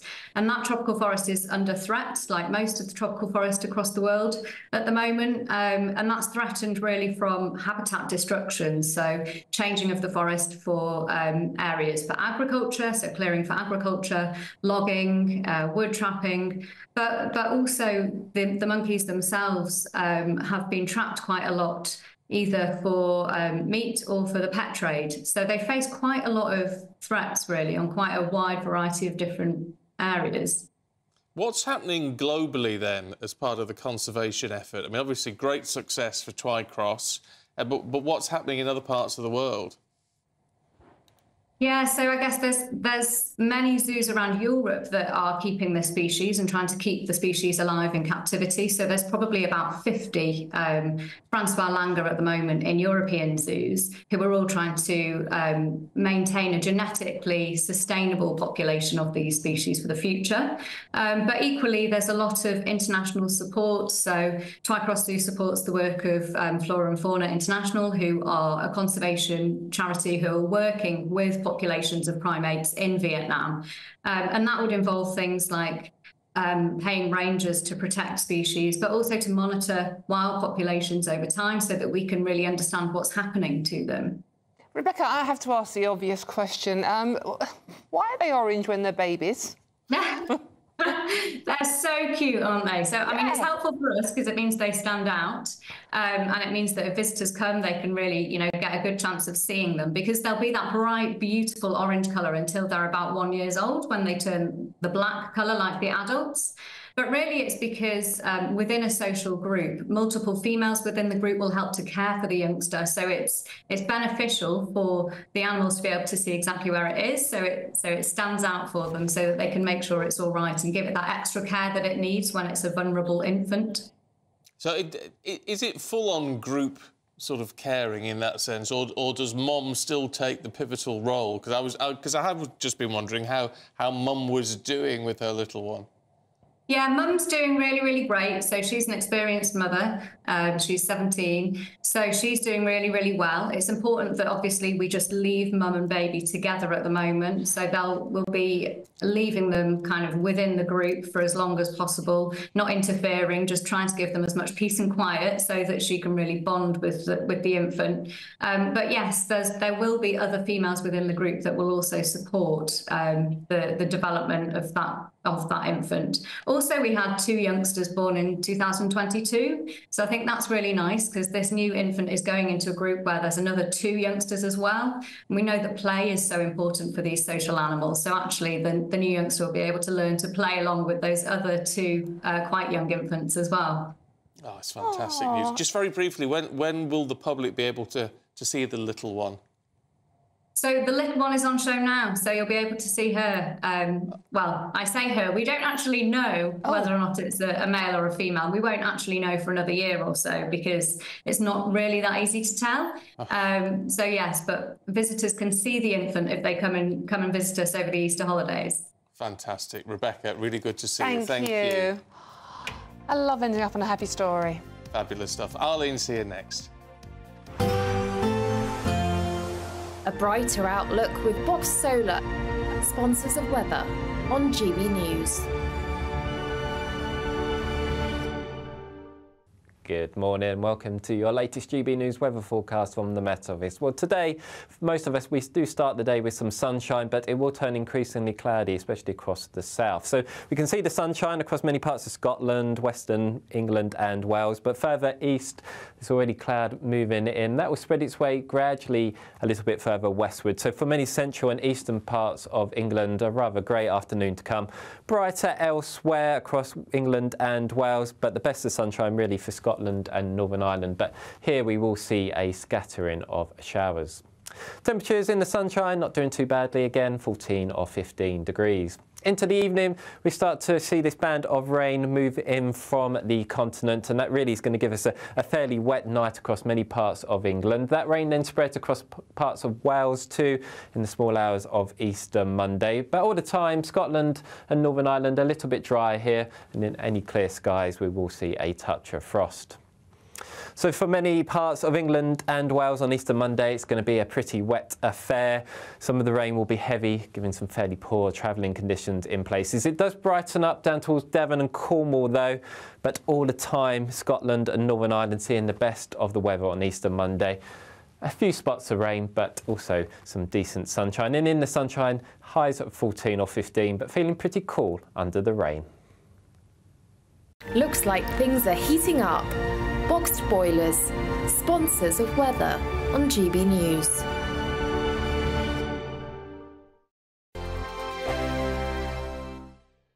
This is GB News, Britain's news channel. Is the brand of toothpaste super important here, or is it more about the toothbrush? Because I was told a long time ago by my dentist, electric toothbrush, Pip, that is the way to go. You're exactly right. I mean, the action of mechanically removing plaque, so using a brush, is much more effective than the brand of toothpaste itself. But in terms of the ingredient in toothpaste that we're looking for, it's something called fluoride. And fluoride is essential to help remineralize and strengthen our teeth. It's really important to use a toothpaste with fluoride. And in terms of brushing, using an electric toothbrush is just much easier. You know, you're brushing your teeth first thing in the morning, last thing at night. You're going to be a bit tired in those times. So using an electric toothbrush, you just hold it against your tooth and gum and it does all the work for you. So it's just much easier in my opinion. But you have to use your electric toothbrush properly. You're exactly right. Yeah, there is a technique of actually brushing your teeth, although it sounds really simple. With an electric toothbrush, you have to hold it against the tooth and the gum. Ideally, you want a pressure sensor in that toothbrush so you know exactly when you're pressing too hard. But if you're using a manual toothbrush, you need to move it around and small circular motions. But actually, what I see is people who use manual toothbrushes, they tend to over scrub and overbrush, which can actually lead to gum recession and your enamel thinning long term. Sometimes I will get up in the morning and I will have breakfast and then I'll brush my teeth. Is that wrong? Unfortunately, that's wrong. So, the best time to brush your teeth is first thing in the morning, as soon as you wake up. If you're brushing after you eat and after breakfast, you're brushing your teeth in that weakened acidic state. So your teeth are actually under attack and they're much more vulnerable.